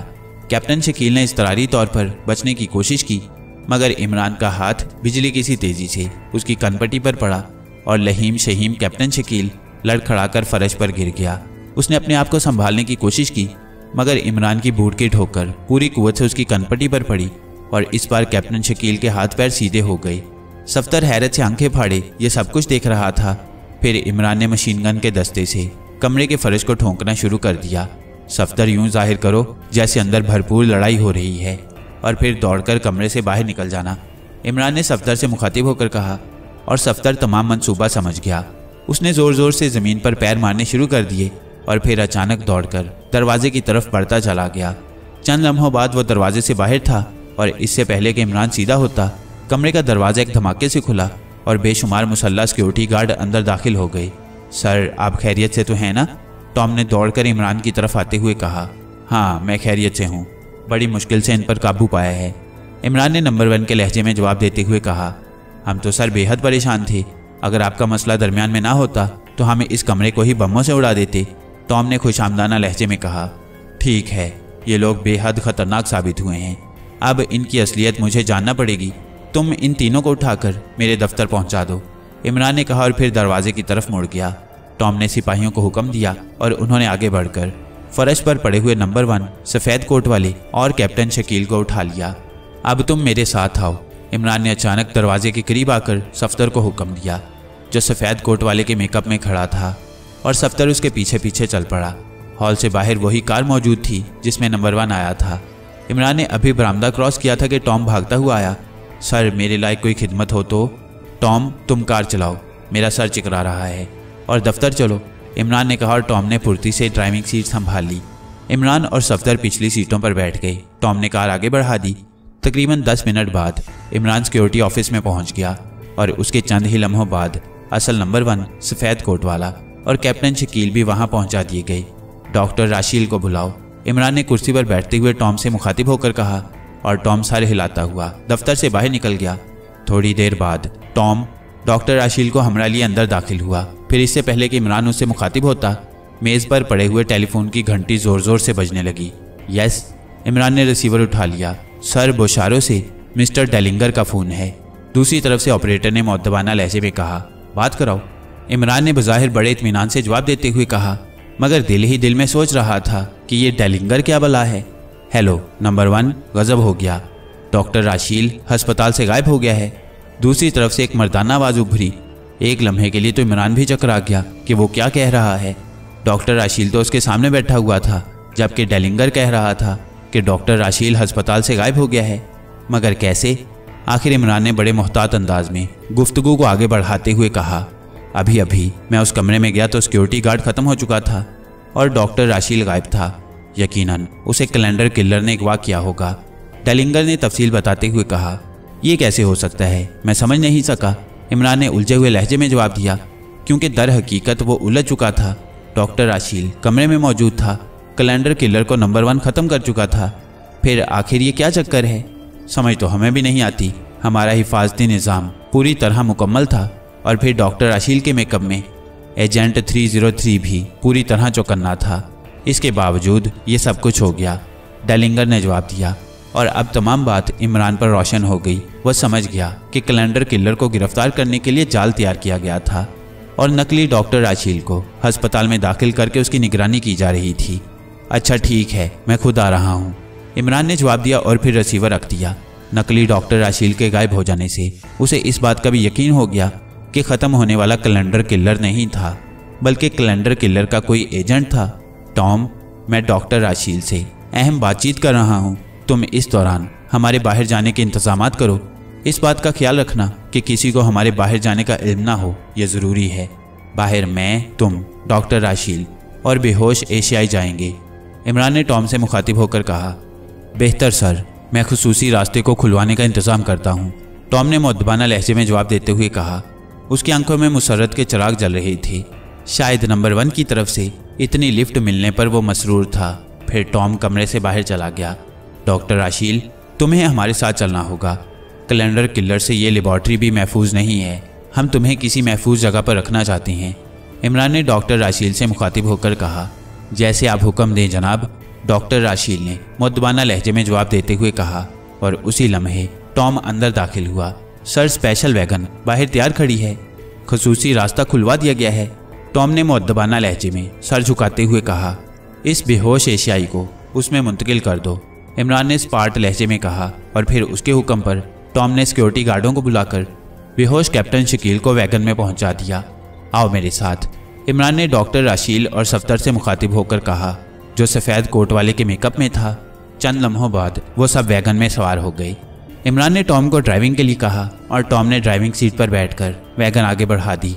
थोड़ी देर बाद उनकी वैगन लेबॉर्ट्री और वर्कशॉप की हदूद से निकलकर शहर जाने वाली सड़क पर दौड़ती चली जा रही थी और इमरान के चेहरे पर इतमान के आसार उभर आए थे। कैलेंडर किलर बड़ी बेचैनी के आलम में कमरे में टहल रहा था। उसके चेहरे पर शदीद परेशानी और गहरी उलझनों के तासुरात नुमाया थे। वो बार बार रुकता चौंक कर कमरे के दरवाजे की तरफ़ देखता और फिर टहलना शुरू कर देता और फिर अचानक वो चौंक कर रुक गया। दरवाजे के बाहर कदमों की आहट उभरी थी और फिर चंद लम्हे बाद दरवाज़ा खुला और एक नौजवान अंदर दाखिल हुआ। उसके चेहरे पर मायूसी के तासुरात थे। बॉस, वो डॉक्टर राशील नहीं है। उसके मेकअप में मुकामी इंटेलिजेंस, वो शाहरुख का एजेंट है। मैंने उसे ख़त्म कर दिया है। नौजवान ने कहा, मुझे पहले ही इस बात का शक था, क्योंकि जिस अंदाज में उसकी निगरानी हो रही थी, उसी से मामला मशकूक नज़र आता था। बहरहाल, इससे यह बात साबित हो गई है कि शाहरुख को हमारे मुतलिक इल्म हो गया है। तभी हमारे लिए ये जाल बिछाया गया था।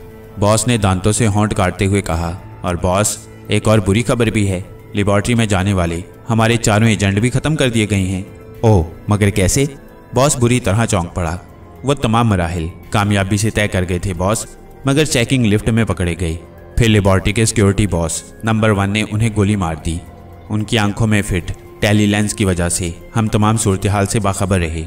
नौजवान ने जवाब दिया, क्या उन्होंने उनसे पूछगिछ भी की थी? या वो किसी तसादुम में हलाक हो गए हैं? बॉस ने बेचैनी के आलम में कंधे उचकाते हुए कहा, नहीं बॉस, उन्हें बाकायदा हाइड्रोथ्रोपी से चेक किया गया था, मगर चूँकि आपके हुक्म पर उनकी ब्रेन वॉशिंग करके सेट कर दिया गया था, इसलिए उन्होंने वहाँ अपने आप को कैलेंडर किलर ही ज़ाहिर किया और उन्हें कैलेंडर किलर समझकर ही ख़त्म कर दिया गया। नौजवान ने जवाब दिया, ओह अच्छा हुआ कि आखिरी लम्हों में हमने खुद जाने का इरादा बदल दिया था। बहरहाल इससे एक फ़ायदा हो गया। नंबर टू कि अब बुशारो मुतमिन हो जाएगी, कि कैलेंडर किलर ख़त्म हो गया है। इस तरह हमें काम करने में आसानी रहेगी कैलेंडर किलर ने कहा। हाँ ये बात तो है बॉस मगर एक और इतला है, शायद वो अहम हो। हमारे आदमियों के साथ तीन एशियाई भी पकड़े गए थे नंबर टू ने कहा। एशियाई मगर वो कौन थे? बॉस चौंक कर खड़ा हो गया। मालूम नहीं, जनाब, हमारे आदमियों के मर जाने की वजह से हमारा रबता ख़त्म हो गया था, इसलिए मालूम ना हो सका कि वो एशियाई कौन थे। नंबर टू ने जवाब दिया, हो सकता है कोई और सिलसिला हो। अब बहरहाल, हमें अपने मिशन पर तवज्जो करनी चाहिए। अब एक ही सूरत है कि किसी तरह असल डॉक्टर आशील को लेबॉर्ट्री से बाहर निकाला जाए। कैलेंडर किलर ने कुछ सोचते हुए कहा, मेरी समझ में तो एक ही सूरत आती है कि हम बशारों के किसी आला अफसर की जगह ले लें और फिर उसके ज़रिए डॉक्टर आशील को बाहर निकाला जाए।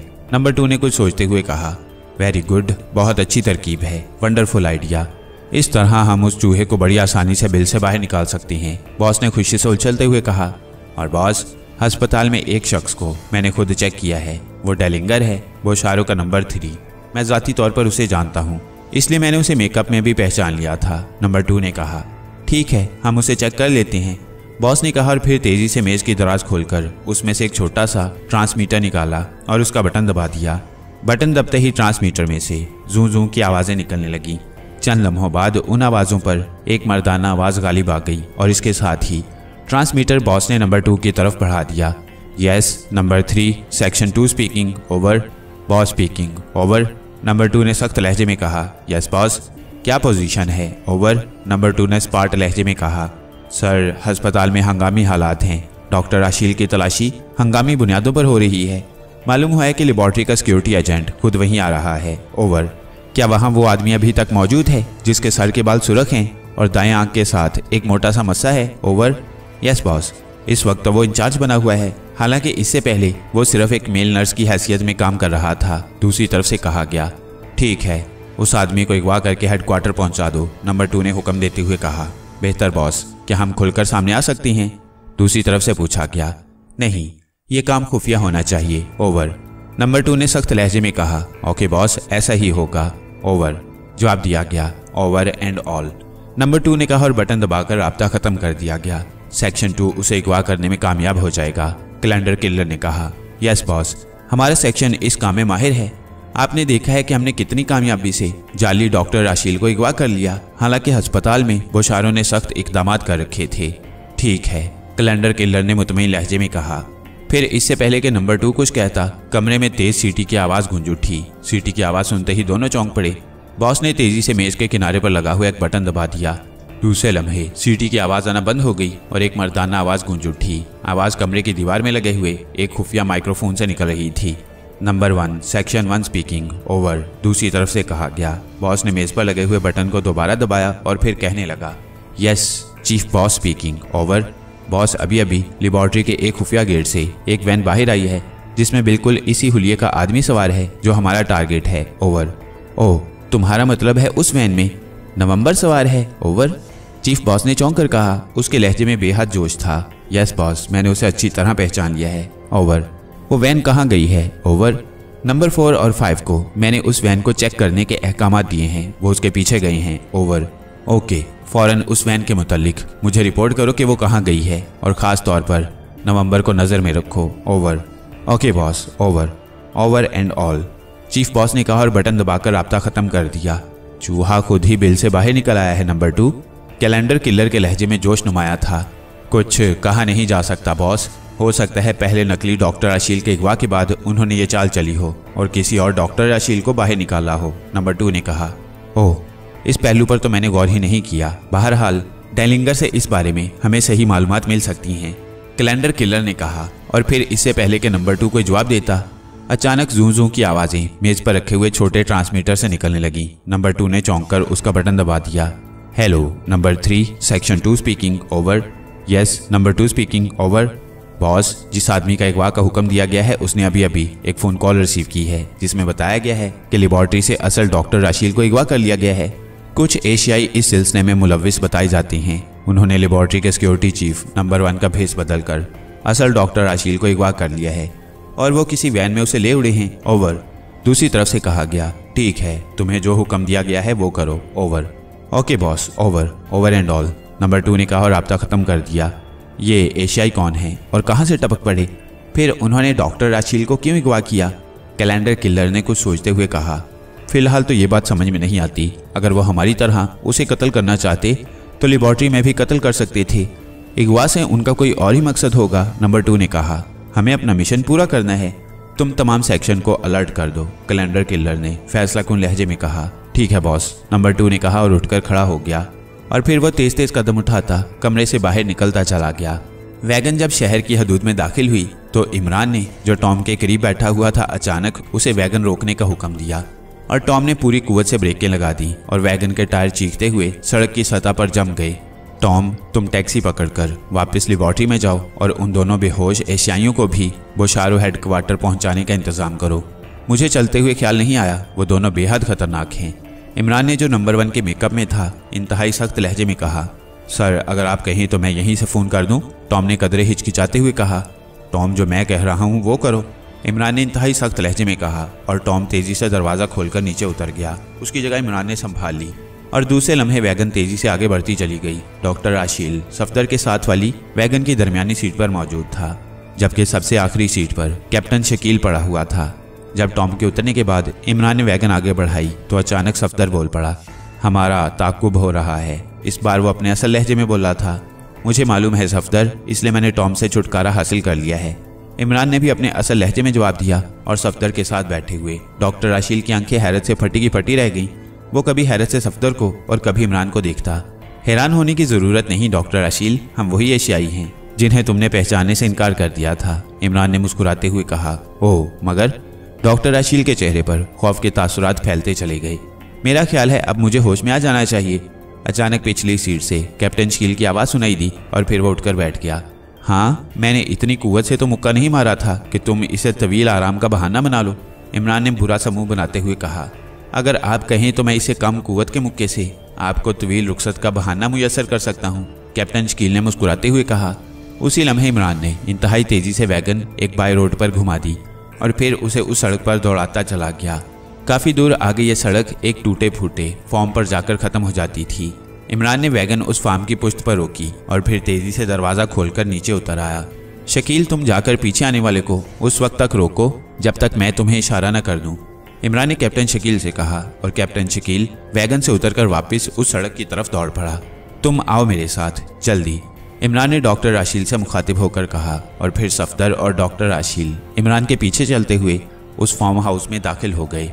डॉक्टर राशील हम तुम्हें कैलेंडर किलर से बचाना चाहते हैं। इसलिए तुम हमारे साथ ताउन करो। इमरान ने कहा और फिर उसने तेज़ी से अपना मौजूदा मेकअप ख़त्म करना शुरू कर दिया। डॉक्टर राशील ने कुछ नहीं कहा। वो खामोश खड़ा आँखें झपकाता रहा। सफदर ने भी अपना मेकअप ख़त्म कर दिया और वह सफ़ेद कोट उतार कर फेंक दिया। इमरान ने एक बार फिर अपना चपटा सा मेकअप बॉक्स निकाला और फिर उसके हाथ तेज़ी से मसरूफ हो गए। जब उसके हाथ रुके तो डॉक्टर राशील बेहोश होते होते बचा, क्योंकि उसके सामने एक और डॉक्टर राशील खड़ा था। हु बहू वही, सिर्फ़ लिबास का फ़र्क था। इधर आओ, डॉक्टर राशील अब मैं अपना मेकअप तुम पर कर दूँ। इस तरह तुम कैलेंडर किलर से महफूज हो जाओगे।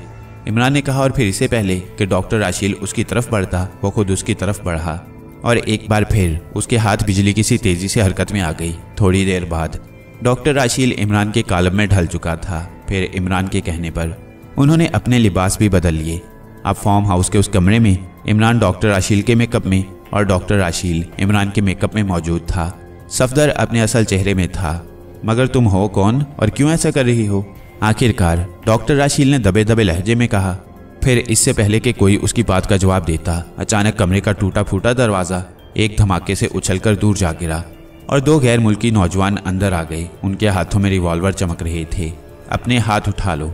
उनमें से एक ने इंतहाई करख्त लहजे में कहा, उसकी नज़रें इमरान पर, जो डॉक्टर राशील के मेकअप में था, उस पर जमी हुई थी। और सबसे पहले इमरान ने हाथ उठाए। इसके साथ ही सफदर और असल डॉक्टर राशील ने भी हाथ उठा लिए।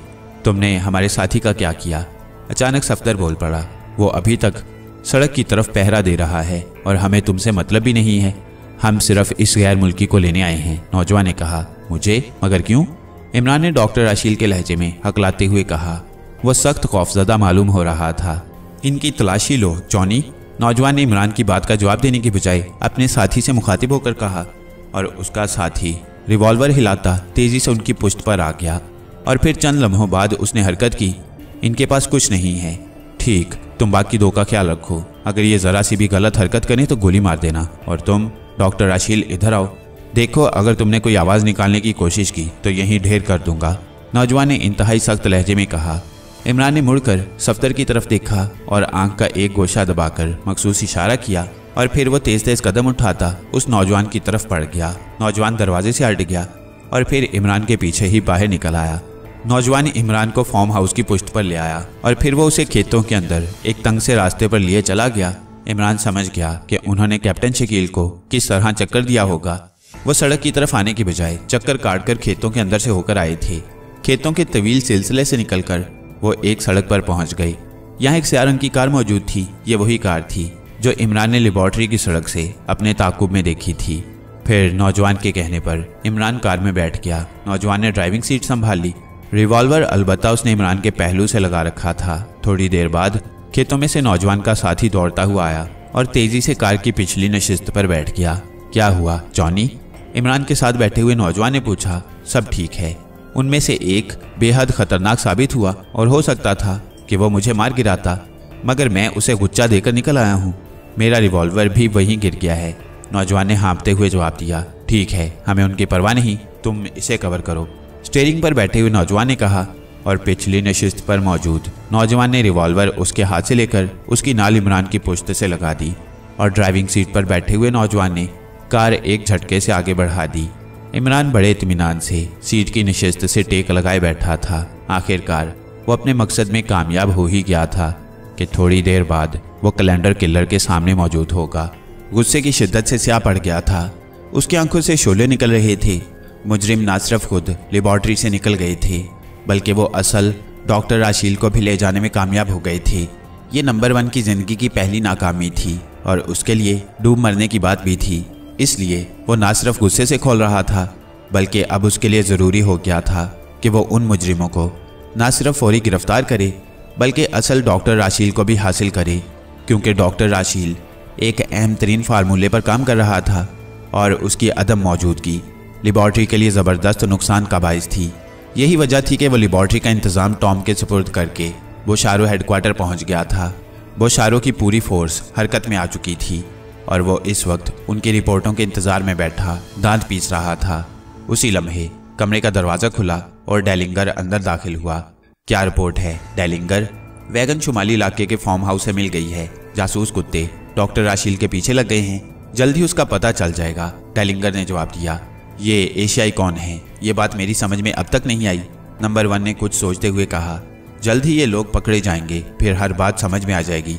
टेलिंगर ने संजीदा लहजे में जवाब दिया, और फिर इससे पहले कि नंबर वन उसकी बात का जवाब देता, मेज़ पर पड़े हुए टेलीफोन की घंटी बज उठी। Yes number one speaking boss, doctor Rasheel को अभी अभी एक सियारंग की कार में देखा गया है। कार का रुख शुमाली जोन की तरफ़ है। दूसरी तरफ़ से कहा गया, ओ, कार का ताकुब किया जाए। नंबर वन ने चौंकते हुए कहा, यस, बॉस, कार को बाकायदा चेक किया जा रहा है। दूसरी तरफ़ से मौतबाना लहजे में कहा गया, ओके, कार डॉक्टर आशील को जिस इमारत में ले जाए, उसकी सख्त निगरानी की जाए और हमें फ़ौरन रिपोर्ट की जाए। ओके, बॉस, दूसरी तरफ़ से कहा गया और नंबर वन ने रिसीवर क्रैडल पर रख दिया। टेलिंगर वो शारों के हंटिंग सेक्शन को अलर्ट कर दो। मैं डॉक्टर आशील को अगवा करने वालों से इबरतनाक इंतकाम लेना चाहता हूँ। ठीक है टेलिंगर ने कहा, और फिर वो तेज़ी से मुड़कर कमरे से बाहर निकल गया। टेलीफोन की घंटी एक बार फिर बज उठी। Hello number one speaking number three search section speaking क्या रिपोर्ट है? सर जासूस कुत्तों ने उन एशियाई अफराद का खोज निकाल लिया है, मगर डॉक्टर राशील उनके हमरा नहीं है, दूसरी तरफ़ से कहा गया।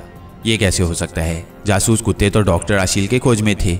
सर, यही उलझन है। जासूस कुत्तों को डॉक्टर राशील की भू पर लगाया गया था और वो जिस इमारत में हमें ले गए, वहाँ डॉक्टर राशील मौजूद नहीं है, बल्कि वो एशियाई मौजूद हैं। ओ, कोई गड़बड़ मालूम होती है। कौन सी इमारत में है ये लोग? नंबर वन ने उलझे हुए लहजे में कहा, सैंड स्पॉट कॉलोनी की कोठी नंबर 120 में ये लोग मौजूद हैं। हम उसकी निगरानी कर रहे हैं। ठीक है, उस कोठी की सख्ती से निगरानी करो। मैं डेलिंगर को वहाँ भेजता हूँ। नंबर वन ने कहा और रिसीवर रख दिया। उसकी आँखों में शदीद उलझन के तासुरात नुमाया थे और अभी वो सोच ही रहा था कि डेलिंगर अंदर दाखिल हुआ। हंटिंग सेक्शन को अलर्ट कर दिया गया है। डेलिंगर ने कुर्सी पर बैठते हुए कहा, एक और उलझन आन पड़ी है। नंबर वन ने उलझे हुए लहजे में कहा, वो क्या? डेलिंगर ने चौंक कर कहा, जासूस कुत्तों ने उन एशियाई मुजरिमों का खोज निकाल लिया है, मगर वहाँ डॉक्टर राशील नहीं है। हालाँकि जासूस कुत्तों को डॉक्टर राशील की भू पर लगाया गया था। वो डॉक्टर राशील की बजाय उन एशियाई मुजरिमों तक कैसे पहुँच गए नंबर वन ने कहा यह बात तो वाकई ताजुब खेज है। कुत्ते तो सिर्फ़ उसी की भूखे पीछे जाते हैं, जिसके लिए उन्हें भेजा जाए। टेलिंगर के लहजे में ताजुब था। इससे यही बात समझ में आती है कि जिस डॉक्टर राशील को स्या कार में देखा गया है, वो असली नहीं है। डॉक्टर राशील के मेकअप में कोई एशियाई होगा और जासूस कुत्तों ने जिन एशियाई मुजरिमों का खोज निकाला है, उनमें डॉक्टर राशील भी मौजूद होगा। हो सकता है वो एशियाई के मेकअप में हो।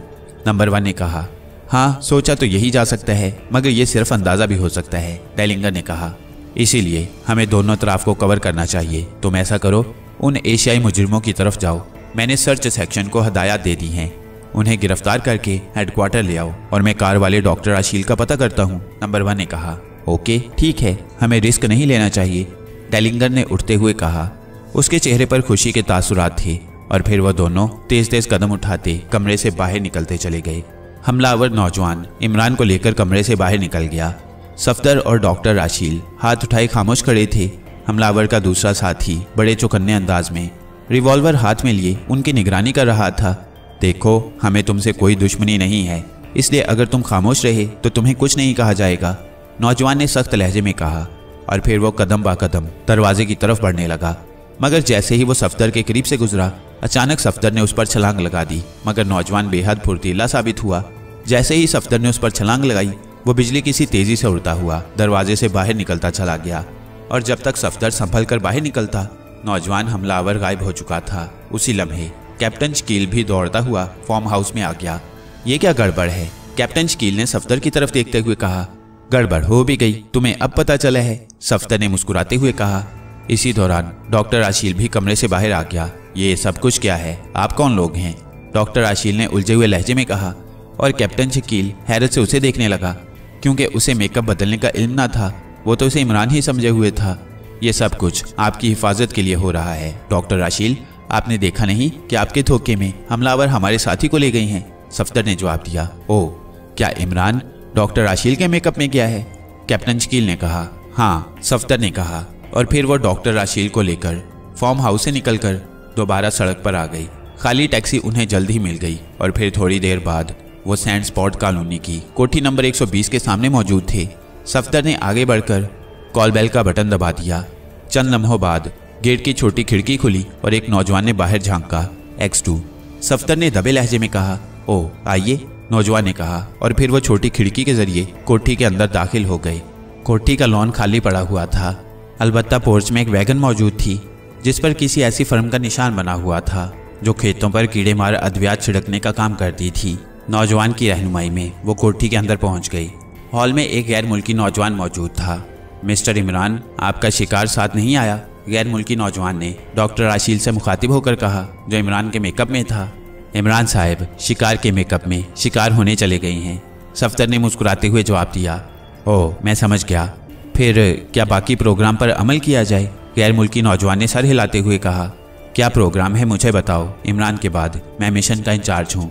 सफ्तर ने बड़ी संजीदगी से कहा, फिर आप मेरे साथ आइए। गैर मुल्की नौजवान ने सर हिलाते हुए कहा, और फिर सफ्तर को हमरा लिए, एक और कमरे में आ गया। आपके मेकअप में मेरे साथी यहाँ रहेंगे, और आप उनके मेकअप में। इमरान साहब की चेकिंग के लिए चलेंगे। गैर मुल्की नौजवान ने तफसीलात बताते हुए कहा, ठीक है, फिर जल्दी करें। क्या डॉक्टर राशील को भी साथ रखना होगा? सफ्तर ने पूछा। हाँ इमरान साहब की यही हदायत थी। गैर मुल्की नौजवान ने कहा, ठीक है, जैसे उन्होंने कहा है वैसा ही करें, मगर जल्दी। मुझे खतरा है, इमरान साहब किसी बड़ी मुश्किल में ना फंस जाएँ। सफ्तर ने कहा, ओके, आइए, मेकअप रूम में चलते हैं। गैर मुल्की ने जवाब दिया, और फिर थोड़ी देर बाद सफ्तर, कैप्टन शकील और इमरान के मेकअप में गैर मुल्की के साथी वहीं कोठी में रह गए, और डॉक्टर राशील सफ्तर और कैप्टन शकील उसके साथियों के मेकअप में कोठी की पुश्त पर आ गई। यहाँ उसी कंपनी का एक हेलीकॉप्टर मौजूद था, गैर मुल्की, जिसका नाम राफील था सीट पर बैठ गया। और वो तीनों उसके साथ ही हेलीकॉप्टर पर सवार हो गए और हेलीकॉप्टर फिजा में बुलंद होता चला गया। राफील ने फिजा में बुलंद होते ही सामने डैशबोर्ड पर एक सुरख रंग का बटन दबा दिया। बटन दबते ही डैशबोर्ड पर एक छोटा सा डायल रोशन हो गया, जिसके शुमाली सिरे पर सुरख रंग का नुकता जलबुझ रहा था। इमरान साहब यहाँ मौजूद हैं। राफील ने सुरख रंग के नुक्ते की तरफ़ इशारा करते हुए कहा, ओ, क्या इमरान की बातचीत सुनी जा सकती है? सफ्तर ने चौंकते हुए कहा, अभी नहीं, अभी हम उनके खसूसी ट्रांसमीटर की रेंज में नहीं आए।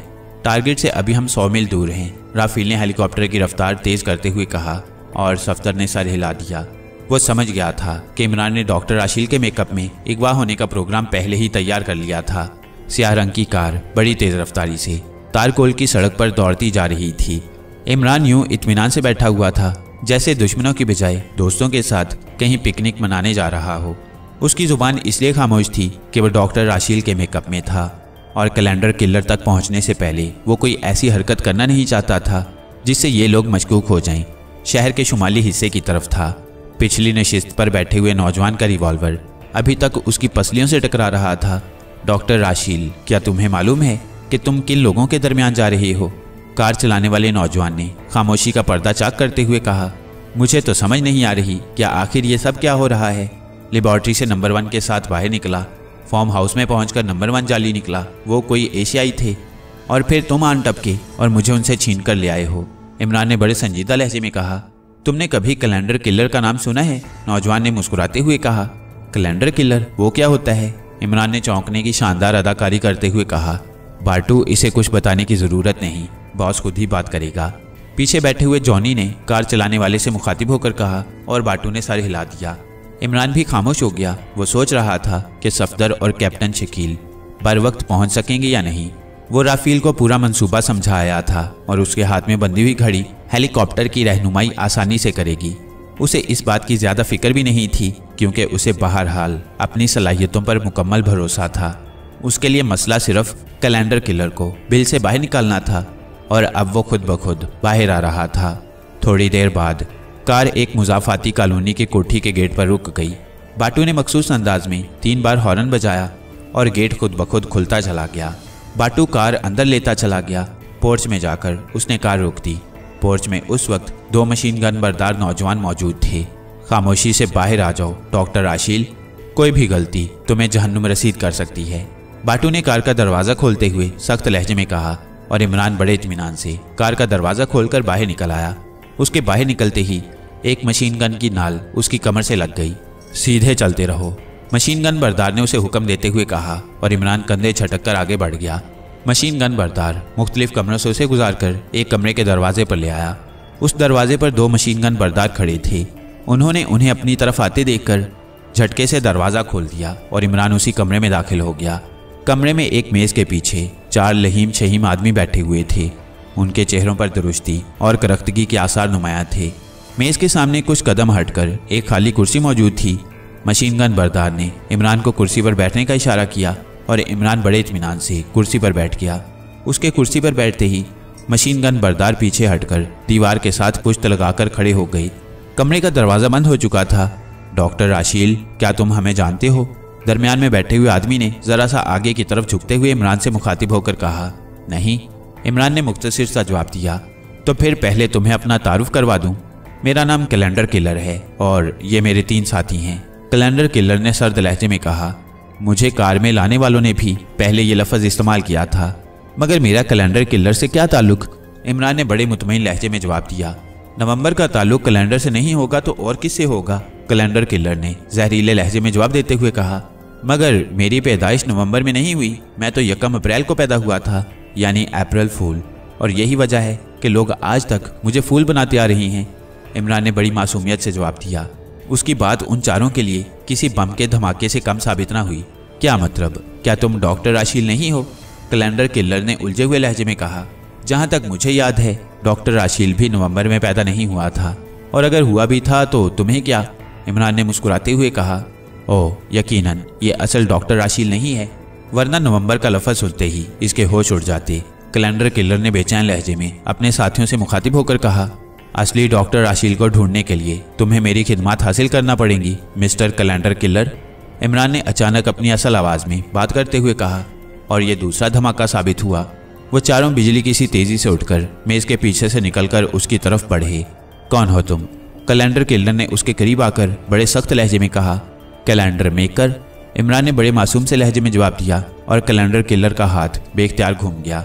मगर इमरान ऐसी सिचुएशंस के लिए हर वक्त तैयार रहता था, वो तेज़ी से झुक गया और कैलेंडर किलर का हाथ फिजा में ही घूम कर रह गया। इमरान ने नीचे झुकते ही कुर्सी से उठने की कोशिश की, मगर दूसरे लम्हे उसके हलक से एक तवील सांस निकल गई।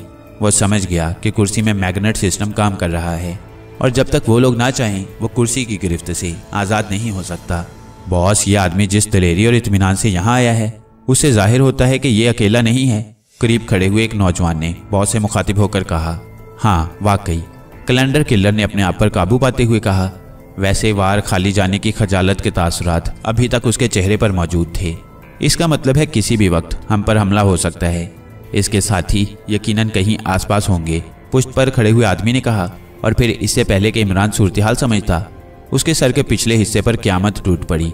बड़ी शदीद जरब थी। इमरान ने सर छटक कर अपने आप को संभालने की कोशिश की, मगर दूसरी और फिर तीसरी जरब के बाद उसके जहन में तारीकियाँ छाती चली गईं। आखिरी आवाज़ जो उसके कानों से टकराई, वो कैलेंडर किलर की थी, जो अपने साथी से कह रहा था कि इसे ख़त्म मत करो, डॉक्टर राशील का पता इसी से लगेगा। और इसके बाद इमरान का जहन मुकम्मल तौर पर तारीकियों में डूब गया। शहर के शुमाली हिस्से में वाक़ मुजाफाती कॉलोनी की एक कोठी से थोड़े ही फासले पर कार रुक गई। कार का दरवाज़ा खुला और फिर नंबर वन बाहर निकल आया। वो तेज़ तेज़ कदम उठाता कोठी की तरफ़ बढ़ने लगा। अभी वो कोठी से चंद कदम ही दूर था कि दीवार की आड़ से एक नौजवान बाहर निकल आया। बॉस, वो लोग कोठी के अंदर हैं। नौजवान ने मुद्दबाना लहजे में कहा, क्या तुम्हें मुकम्मल यकीन है? नंबर वन ने सर्द लहजे में कहा, यस, बॉस। मेरा सेक्शन कोठी की मुकम्मल निगरानी कर रहा है। नौजवान ने जवाब दिया ओके, तुम अपनी निगरानी जारी रखो। अब मैं हंटिंग सेक्शन को सामने लाता हूँ।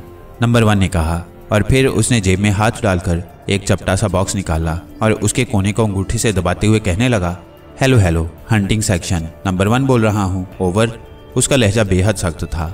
Yes boss hunting section speaking over come on the operation कोठी पर हमला कर दो। डॉक्टर राशील के अलावा जितने अफराद भी मिले, अगर ज़िंदा काबू में ना आ सके तो उन्हें हला किया जा सकता है। मैं गेट के सामने मौजूद रहूँगा। ओवर। नंबर वन ने करख्त लहजे में कहा, ओके, सर, ओवर। दूसरी तरफ़ से पुरजोश लहजे में जवाब दिया गया, over and all. Number one ने कहा, और कोने के अंगूठे से दोबारा दबाकर ट्रांसमीटर वापस जेब में रख लिया। फिर वो तेज़ी से मुड़ा और सड़क क्रॉस करके कोठी के गेट के सामने एक दरख्त की आड़ में रुक गया। कॉल खत्म होने के तकरीबन दस मिनट बाद हंटिंग सेक्शन की चार कारें इंतहाई तेज रफ्तारी से चारों तरफ़ से बरामद हुई और कोठी के गिर्द रुक गईं। उनमें से स्याह रंग के चुस्त लिबास में मलबूस नौजवान बाहर निकले। उनके हाथों में मशीन गन्ने थीं और फिर वो कोठी की तरफ़ दौड़ते चले गए। कोठी की दीवार खासी बुलंद थी, मगर वो नौजवान शायद मुकम्मल तौर पर तरबियत याफ्ता थे, क्योंकि वो परिंदों की तरह उड़ते हुए दीवारें पार कर गए और फिर कोठी मशीन गन्नों की रिट रिट से गूंज उठी। भागते हुए कदमों और रिट रिट की आवाज़ों ने पूरी कॉलोनी के माहौल को चौंका दिया। चुनाचे करीबी कोठियों की खिड़कियाँ तेज़ी से खुलने लगीं, मगर कोठी के गिर्द खड़ी हुई कारों पर मौजूद बोशारों का मखसूस निशान देखते ही उन सबने अपनी खिड़कियाँ बंद कर लीं। बोशारों के काम में कोई शख्स मुदाखलत का तस्वुर भी नहीं कर सकता था। नंबर वन, दरख्त की आड़ में खड़ा, सुकून से हंटिंग सेक्शन के काम के इंजाम का इंतज़ार करता रहा। चंद लम्हों तक गोलियाँ चलने के बाद कोठी के अंदर खामोशी छा गई और कोठी का फाटक खुला। और सेक्शन के दो आदमी बाहर निकल आए। उनके चेहरों पर परेशानी के आसार नुमाया थे। नंबर वन दरख्त की आड़ से बाहर निकल आया। क्या बात है? नंबर वन ने सख्त लहजे में कहा, बॉस, कोठी बिल्कुल खाली है। वहाँ कोई आदमी मौजूद नहीं है। ये कैसे हो सकता है? कोठी से कोई आदमी बाहर नहीं आया। फिर वो खाली कैसे हो गई? आप खुद चेक कर लें, बॉस। आने वाले ने मुद्दबाना लहजे में कहा, और फिर नंबर वन उनके साथ कोठी में दाखिल हुआ। वाकई, तमाम कोठी खाली पड़ी हुई थी, और थोड़ी देर बाद उन्हें इसकी वजह भी मालूम हो गई। सेक्शन के आदमियों ने वो खुफिया सुरंग ढूंढ निकाली थी, जो कोठी से 200 गज दूर खेतों के दरमियान निकलती थी। ओह तो वो डॉक्टर राशील समेत निकल गई। नंबर वन ने बौखलाए हुए लहजे में कहा, और फिर वह मुँह लटकाए, कोठी से बाहर आ गया। उसी लम्हे, सियाह रंग की एक कार तेज रफ्तारी से दौड़ती हुई उसके करीब पहुँची, और ब्रेकों की तेज आवाजों के साथ ही एक झटके से रुक गई। कार में से एक नौजवान फुर्ती से बाहर निकला, और उसने कार फ़ोन का रिसीवर नंबर वन की तरफ़ बढ़ाते हुए मुद्दबाना लहजे में कहा, सर, आपकी कॉल. नंबर वन ने चौंक रिसीवर उसके हाथ से थाम लिया। Hello, number one speaking. Dellinger speaking. मैंने उन एशियाई मुजरिमों का पता चला लिया है। वो रेडगर एंड कंपनी के हेलीकॉप्टर में सवार होकर गई हैं। सैंड स्पॉट कॉलोनी से। उनके मेकअप में जो लोग गिरफ़्तार हुए हैं, वो मामूली उचक्के हैं, जिन्हें किराए पर हासिल किया गया था। डेलिंगर ने पुरजोश लहजे में कहा तो डॉक्टर राशील वहाँ मौजूद नहीं है? नंबर वन ने चौंक कहा, नहीं जनाब सिर्फ़ एशियाई वहाँ पहुँची हैं। उन्होंने मेकअप तब्दील किया और फिर हेलीकॉप्टर में बैठकर चले गए। डेलिंगर ने जवाब दिया, यहाँ कार वाला डॉक्टर राशील भी गायब हो गया है। वो एक खुफिया सुरंग के ज़रिए निकल निकलकर भागा है। नंबर वन ने कहा, मेरा ख्याल है जासूस कुत्तों को डॉज दिया गया है। असल डॉक्टर राशील वही कार वाला था और ये एशियाई उसके ताकुब में गए हैं। डेलिंगर ने कहा, हो सकता है, मगर लेबॉर्ट्री से तो एशियाइयों ने डॉक्टर राशील को बाहर निकाला था। फिर वो कार वालों के हत्थे कैसे चढ़ गई? नंबर वन ने उलझे हुए लहजे में कहा, जहाँ तक मेरा ख्याल है, दरअसल यहाँ दो पार्टियाँ सरगर्मी अमल हैं। एक, उन एशियाइयों की और दूसरी शायद कैलेंडर किलर की। डेलिंगर ने जवाब दिया ओ मगर कैलेंडर किलर का तो लिबार्ट्री में ही खात्मा कर दिया गया था। नंबर वन ने जवाब दिया, हो सकता है कि वो असल कैलेंडर किलर ना हो, उसके कोई एजेंट वगैरह हो। डेलिंगर ने जवाब दिया ओ वाकई, ये पहलू काबिल गौर है। इसका मतलब है कि डॉक्टर राशील शदीद खतरे में है। तुम फ़ौरन मेरे पास पहुँच जाओ। मैं रेडियो फ़ोन से हेलीकॉप्टर का पता चलाता हूँ। नंबर वन ने कहा और फिर रेडियो ड्राइवर की तरफ़ बढ़ा दिया। इसके बाद हंटिंग सेक्शन के इंचार्ज से मुखातिब हुआ। तुम लोग हमारे पीछे आओगे और नौजवान ने मुद्दबाना तौर पर सर हिला दिया। नंबर वन तेज तेज कदम उठाता, अपनी कार की तरफ़ बढ़ता गया। अभी वो कार तक पहुँचा भी ना था कि एक और कार उसके करीब आकर रुकी और डेलिंगर उसमें बैठ गया। आओ, बैठो। नंबर वन ने कार का दरवाज़ा खोलते हुए कहा और डेलिंगर घूमकर साथ वाली सीट पर बैठ गया। नंबर वन ने ड्राइविंग सीट संभाली और फिर डैशबोर्ड का एक खुफिया खाना खोलकर उसका कोना हाथ से दबाया। दूसरे लम्हे एक छोटा सा रेडियो नुमा ट्रांसमीटर बाहर आ गया। नंबर वन ने फुर्ती से एक नॉब घुमाकर एक फ्रीक्वेंसी सेट की और एक बटन दबा दिया दूसरे लम्हे। ट्रांसमीटर से आवाज़ निकलने लगी। Hello Bosharo air control over number one speaking Redgar and company का एक हेलीकॉप्टर फिजा में परवाज कर रहा है। उसका एयर ऑपरेशन नंबर बताओ ओवर रेडगर एंड कंपनी का हेलीकॉप्टर ज़ीरो सिक्स पर उड़ रहा है। ओवर क्या इस कंपनी का सिर्फ़ एक ही हेलीकॉप्टर है? ओवर नंबर वन ने पूछा। यस सर इस कंपनी के पास हेलीकॉप्टर एक है। बाकी दवा छिड़कने वाले दस छोटे जहाज़ हैं। Over okay over and all number one ने कहा और बटन दबा दिया। फिर उसने दोबारा नॉब घुमाकर हेलीकॉप्टर की ऑपरेशन फ्रीक्वेंसी सेट करनी शुरू कर दी। चंद लम्हों बाद डायल पर एक सुरख रंग का नुकता चमकने लगा, जो तेज़ी से मशरकी हिस्से की तरफ़ बढ़ा जा रहा था। ओ, हेलीकॉप्टर, यहाँ से 20 मील दूर उड़ रहा है। नंबर वन ने नुक्ते को देखते हुए कहा, और फिर उसने कार एक झटके से आगे बढ़ा दी। चंद लम्हों बाद, उसकी कार आंधी और तूफ़ान की तरह आगे बढ़ी चली जा रही थी। उसके पीछे चार कारें भी दौड़ी चली आ रही थीं। नंबर वन ने हाथ बढ़ाकर मखसूस सायरन ऑन कर दिया। वह जल्द अज जल्द हेलीकॉप्टर तक पहुँचना चाहता था और सायरन की वजह से अब ट्रैफ़िक की रुकावट का खतरा बाकी नहीं रहा था। मुख्तलिफ़ सड़कों से गुजरने के बाद आखिरकार उन्हें वो हेलीकॉप्टर नज़र आ गया और नंबर वन ने सायरन बंद करके रफ्तार आहिस्ता कर दी। उसके चेहरे पर इत्मीनान के आसार उभर आए थे। क्या यही हेलीकॉप्टर वाले डॉक्टर राशील का नया पता जानते होंगे? नंबर वन ने डेलिंगर से मुखातिब होकर कहा, आसार तो यही मालूम होते हैं, डेलिंगर ने जवाब देते हुए कहा, ठीक है, देखा जाएगा। नंबर वन ने कंधे उचकाते हुए कहा उसकी नज़रें डायल पर चमकते हुए नुक्ते पर जम गईं, जो तेज़ी से मशरक की तरफ़ बढ़ा जा रहा था। हेलीकॉप्टर इंतहाई तेज़ी से फिजा में परवाज करता आगे बढ़ता चला जा रहा था। अचानक राफील चौंक पड़ा। डायल पर मौजूद सुरख रंग का नुकता हरकत करने लग गया था। अरे, इमरान साहब को यहाँ से कहीं और ले जाया जा रहा है। राफील ने कहा और सफ्तर भी चौंक पड़ा। हाँ ना जाने क्या चक्कर चल गया है, सफ्तर ने बुड़बुड़ाते हुए कहा। राफील ने हेलीकॉप्टर की रफ्तार तेज कर दी। अब वो नुक्ते की सिमत देखकर अपने हेलीकॉप्टर का रुख मोड़ रहा था और थोड़ी देर बाद उन्होंने सड़क पर दौड़ती हुई एक सुरख रंग की कार चेक कर ली। उसी कार में इमरान मौजूद था। क्योंकि उस कार के रुख बदलते ही नुक्ते की सिमत भी बदल जाती, उसके पीछे तीन कारें और भी थीं। वो सब खासी तेज रफ्तारी से दौड़ी चली आ रही थीं। सुरख रंग की कार का रुख मशर की सिमत वीरान पहाड़ियों की तरफ़ था। राफील जानता था कि उन पहाड़ियों के अंदर एक वीरान किला मौजूद है। एक लम्हे के लिए उसने सोचा कि वो सुरख रंग की कार से पहले ही वहाँ पहुँच जाए। मगर फिर उसने अपना इरादा बदल दिया, क्योंकि हो सकता है इमरान को ले जाने वालों की मंजिल कोई और हो। सफ्तर हेलीकॉप्टर का भी ताकुब हो रहा है। अचानक कैप्टन शकील की आवाज़ सुनाई दी। हेलीकॉप्टर का ताकुब? राफील और सफ्तर दोनों ये बात सुनकर चौंक पड़े और उन्होंने फिजा में इधर उधर देखना शुरू कर दिया। अरे फिजाई ताकुब नहीं, बल्कि पाँच कारों का एक ग्रुप हेलीकॉप्टर का ताकुब कर रहा है। वो हेलीकॉप्टर के साथ साथ मुड़ रहे हैं। कैप्टन शकील ने मुस्कुराते हुए काफ़ी पीछे सड़क पर दौड़ने वाली कारों की तरफ़ इशारा करते हुए कहा, ओ, तुम कब से उन्हें चेक कर रहे हो? सफदर ने संजीदा होते हुए कहा, पिछले पाँच मिनट से, कैप्टन शकील ने जवाब दिया। राफील ने दूरबीन आँखों से लगाई और फिर उसका फोकस सेट करना शुरू कर दिया। अब उसकी नज़रें उन कारों पर जमी हुई थीं और फिर उसकी पेशानी पर उलझन के तासरात उभरते चले गए। ये तो बोशारों की कारें हैं और वो हंटिंग ग्रुप की राफील ने दूरबीन आँखों से हटाते हुए कहा, मेरा ख्याल है ये हमारे ताकुब से, कैलेंडर किलर का ताकुब कर रही हैं सफ्तर ने बुड़बुड़ाते हुए कहा। कहीं ऐसा ना हो कि इनकी वजह से इमरान साहब का मंसूबा फेल हो जाए, कैप्टन शकील ने कहा। हमें इनको अपने ताकुब से झटकना पड़ेगा, राफील ने कहा। मेरे ख्याल में ऐसा नामुमकिन है। ये भी उसी अंदाज में ताकुब कर रही हैं, जिस अंदाज से हम कैलेंडर किलर का ताकुब कर रही हैं सफ्तर ने जवाब दिया। हाँ मालूम ऐसा ही होता है। राफील ने कहा और फिर उसने अचानक हेलीकॉप्टर का रुख बदल दिया। अरे, क्या हुआ? तुम वापस जा रही हो? सफ्तर ने चौंक कर कहा। हाँ उन्हें छटकने का एक ही तरीका है। कार और हेलीकॉप्टर की स्पीड से फ़ायदा उठाया जा सकता है। राफील ने कहा और हेलीकॉप्टर की रफ्तार बढ़ा दी। अब वो वापस जा रहे थे। सफ्तर और कैप्टन शकील ने देखा कि बोशारों की कारें उनके वापस मुड़ते ही रुक गईं और फिर वो भी मुड़ गईं।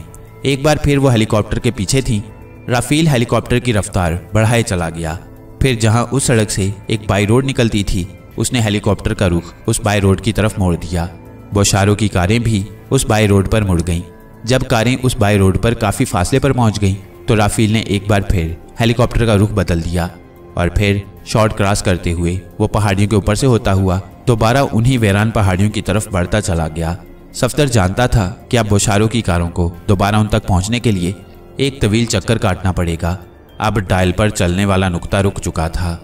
वो उसी वेरान किले में गए हैं। राफील ने नुक्ते को गौर से देखते हुए कहा, हमें फ़ौरन करीबी जगह उतार दो। इमरान साहब किसी भी लम्हे खतरे में भी घिर सकती हैं। सफ्तर ने बेचैन होते हुए कहा, हेलीकॉप्टर जल्द ही वेरान पहाड़ियों पर पहुंचकर एक खाली जगह उतर गया और फिर मंसूबे के मुताबिक सफ्तर और कैप्टन शकील तेज़ी से नीचे उतर गए। डॉक्टर राशील हेलीकॉप्टर में ही रह गया। राफील ने हेलीकॉप्टर दोबारा फिजा में बुलंद कर दिया। सफ्तर और कैप्टन शकील तेज़ी से उस वीरान किले की तरफ़ दौड़ते चले गए, जो एक पहाड़ी के दामन में मक्खी जितना बड़ा नज़र आ रहा था। उनके अंदाज में लापरवाही थी, हालाँकि नीचे से उन्हें बसानी देखा जा सकता था। इमरान की जब आँख खुली तो उसने अपने आप को एक कमरे में मौजूद पाया, वो एक सतून से बंधा हुआ था और चार मुसल्ला मशीन गन बरदार, उसके सामने मशीन गन्ने उठाए खड़े हुए थे। हाँ तो मिस्टर, अब तुम बताओ कि डॉक्टर राशील कहाँ है? उसी करख्त चेहरे वाले ने कहा जिसने अपना नाम कैलेंडर किलर बताया था। तुमने अपना नाम कैलेंडर किलर बताया था ना? इमरान ने उसी तरह मुतमिन लहजे में कहा हाँ मैं कैलेंडर किलर हूँ। कैलेंडर किलर ने जवाब दिया, तुम कैसे कैलेंडर किलर हो? कि कैलेंडर के एक महीने को नहीं ढूंढ सकती? जबकि मुझे देखो, मैंने उसे बड़ी आसानी से ढूंढ लिया, इमरान ने कहा। मगर तुम्हें उससे क्या दिलचस्पी हो सकती है? तुम एशियाई हो, वो जर्मन है। कैलेंडर किलर ने इस बार उलझे हुए लहजे में कहा और इमरान समझ गया कि वो उसका मेकअप साफ़ कर चुके हैं। मैंने तुम्हें बताया तो है कि मैं कैलेंडर मेकर हूँ, इमरान ने जवाब दिया।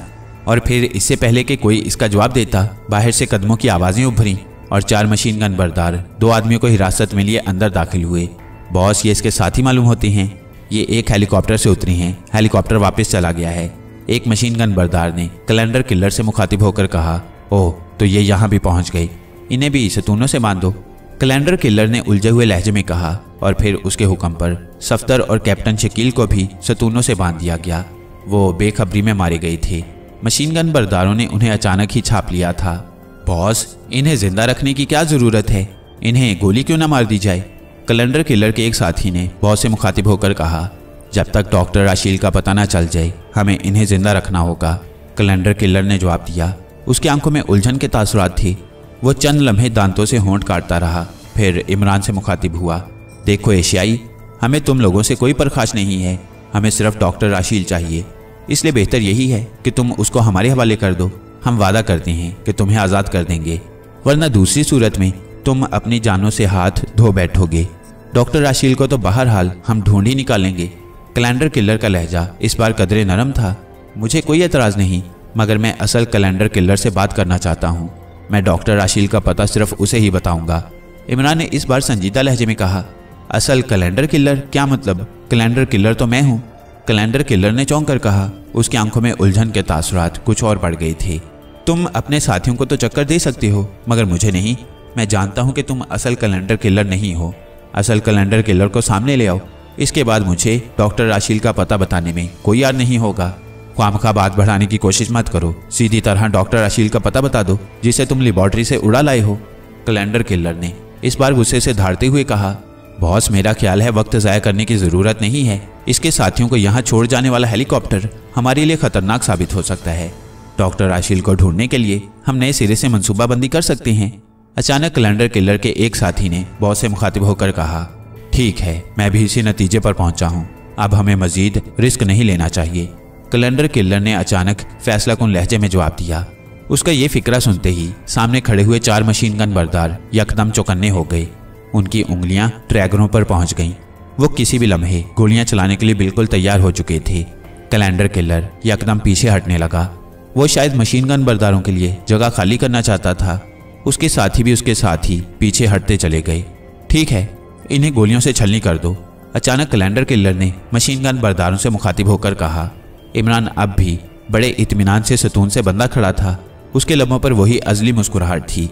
फिर मशीन गन बरदारों की उंगलियाँ ट्रैगरों पर सख्त होती चली गई और दूसरे लम्हे वो हॉलनुमा कमरा, फायरिंग की तेज़ आवाज़ों से गूंज उठा। फायरिंग की आवाज़ों के साथ तेज़ इंसानी चीखें भी शामिल थीं।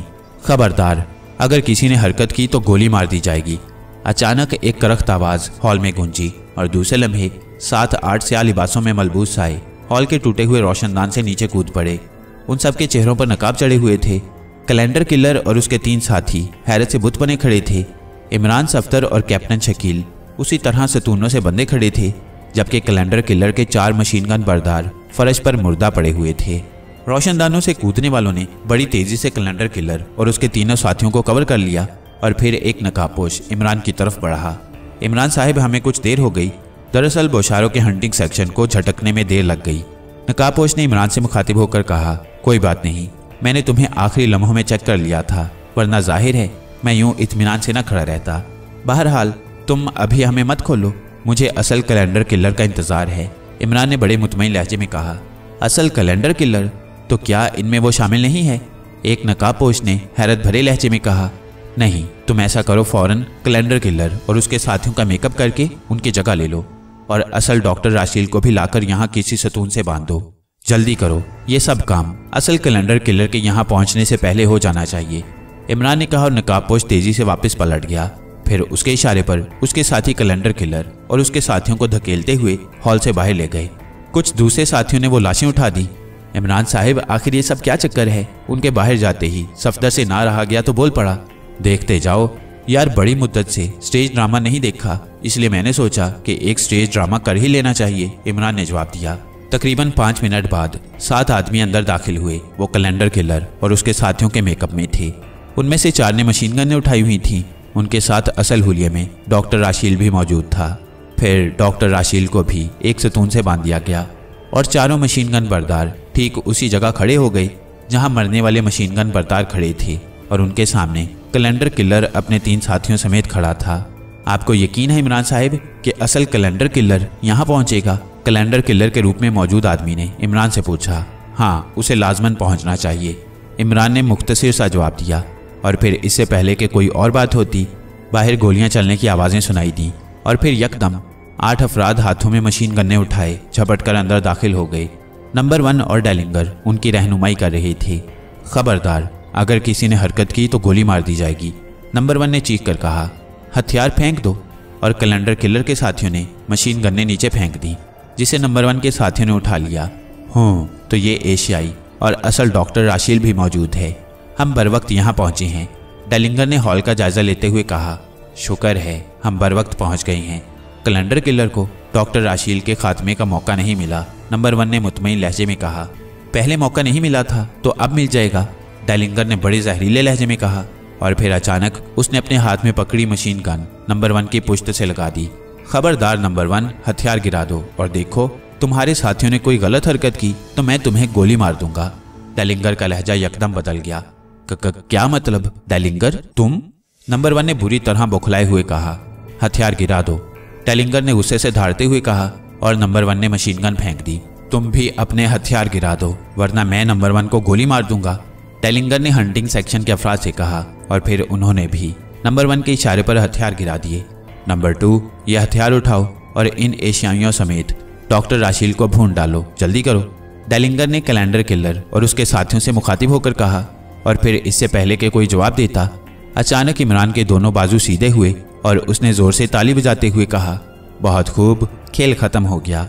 और फिर उसके ताली बजाते ही कैलेंडर किलर और उसके साथी बिजली किसी तेज़ी से हरकत में आए और दूसरे लम्हे डेलिंगर के हाथों से मशीन गन निकलती चली गई। चार रिवॉल्वर उसकी तरफ़ उठे हुए थे। नंबर वन, हंटिंग सेक्शन के अफराद और डेलिंगर हैरत से मुँह फाड़े खड़े थे। खेल खत्म हो गया, मिस्टर डेलिंगर उर्फ़ कैलेंडर किलर। इमरान ने अपने पाँव को रस्सियों से आज़ाद कराते हुए आगे बढ़ते हुए कहा, क्या मतलब कैलेंडर किलर? नंबर वन ने हैरत से उछलते हुए कहा हाँ नंबर वन, ये असल कैलेंडर किलर है। बाकी तो सिर्फ़ इसके साथ ही थे। इमरान ने जेब में हाथ डालते हुए कहा, दूसरे लम्हे एक छोटा सा रिवॉल्वर उसके हाथ में चमक रहा था। फिर इससे पहले कि कोई उसे रोकता, इमरान ने ट्रैगर दबा दिया और गोली ठीक डेलिंगर के दिल पर पड़ी और वह फर्श पर गिरकर तड़पने लगा। ये क्या किया इमरान साहब? कैलेंडर किलर के रूप में मौजूद नौजवान ने हैरत भरे लहजे में कहा यह मिशन की तकमील थी, मिस्टर राफील।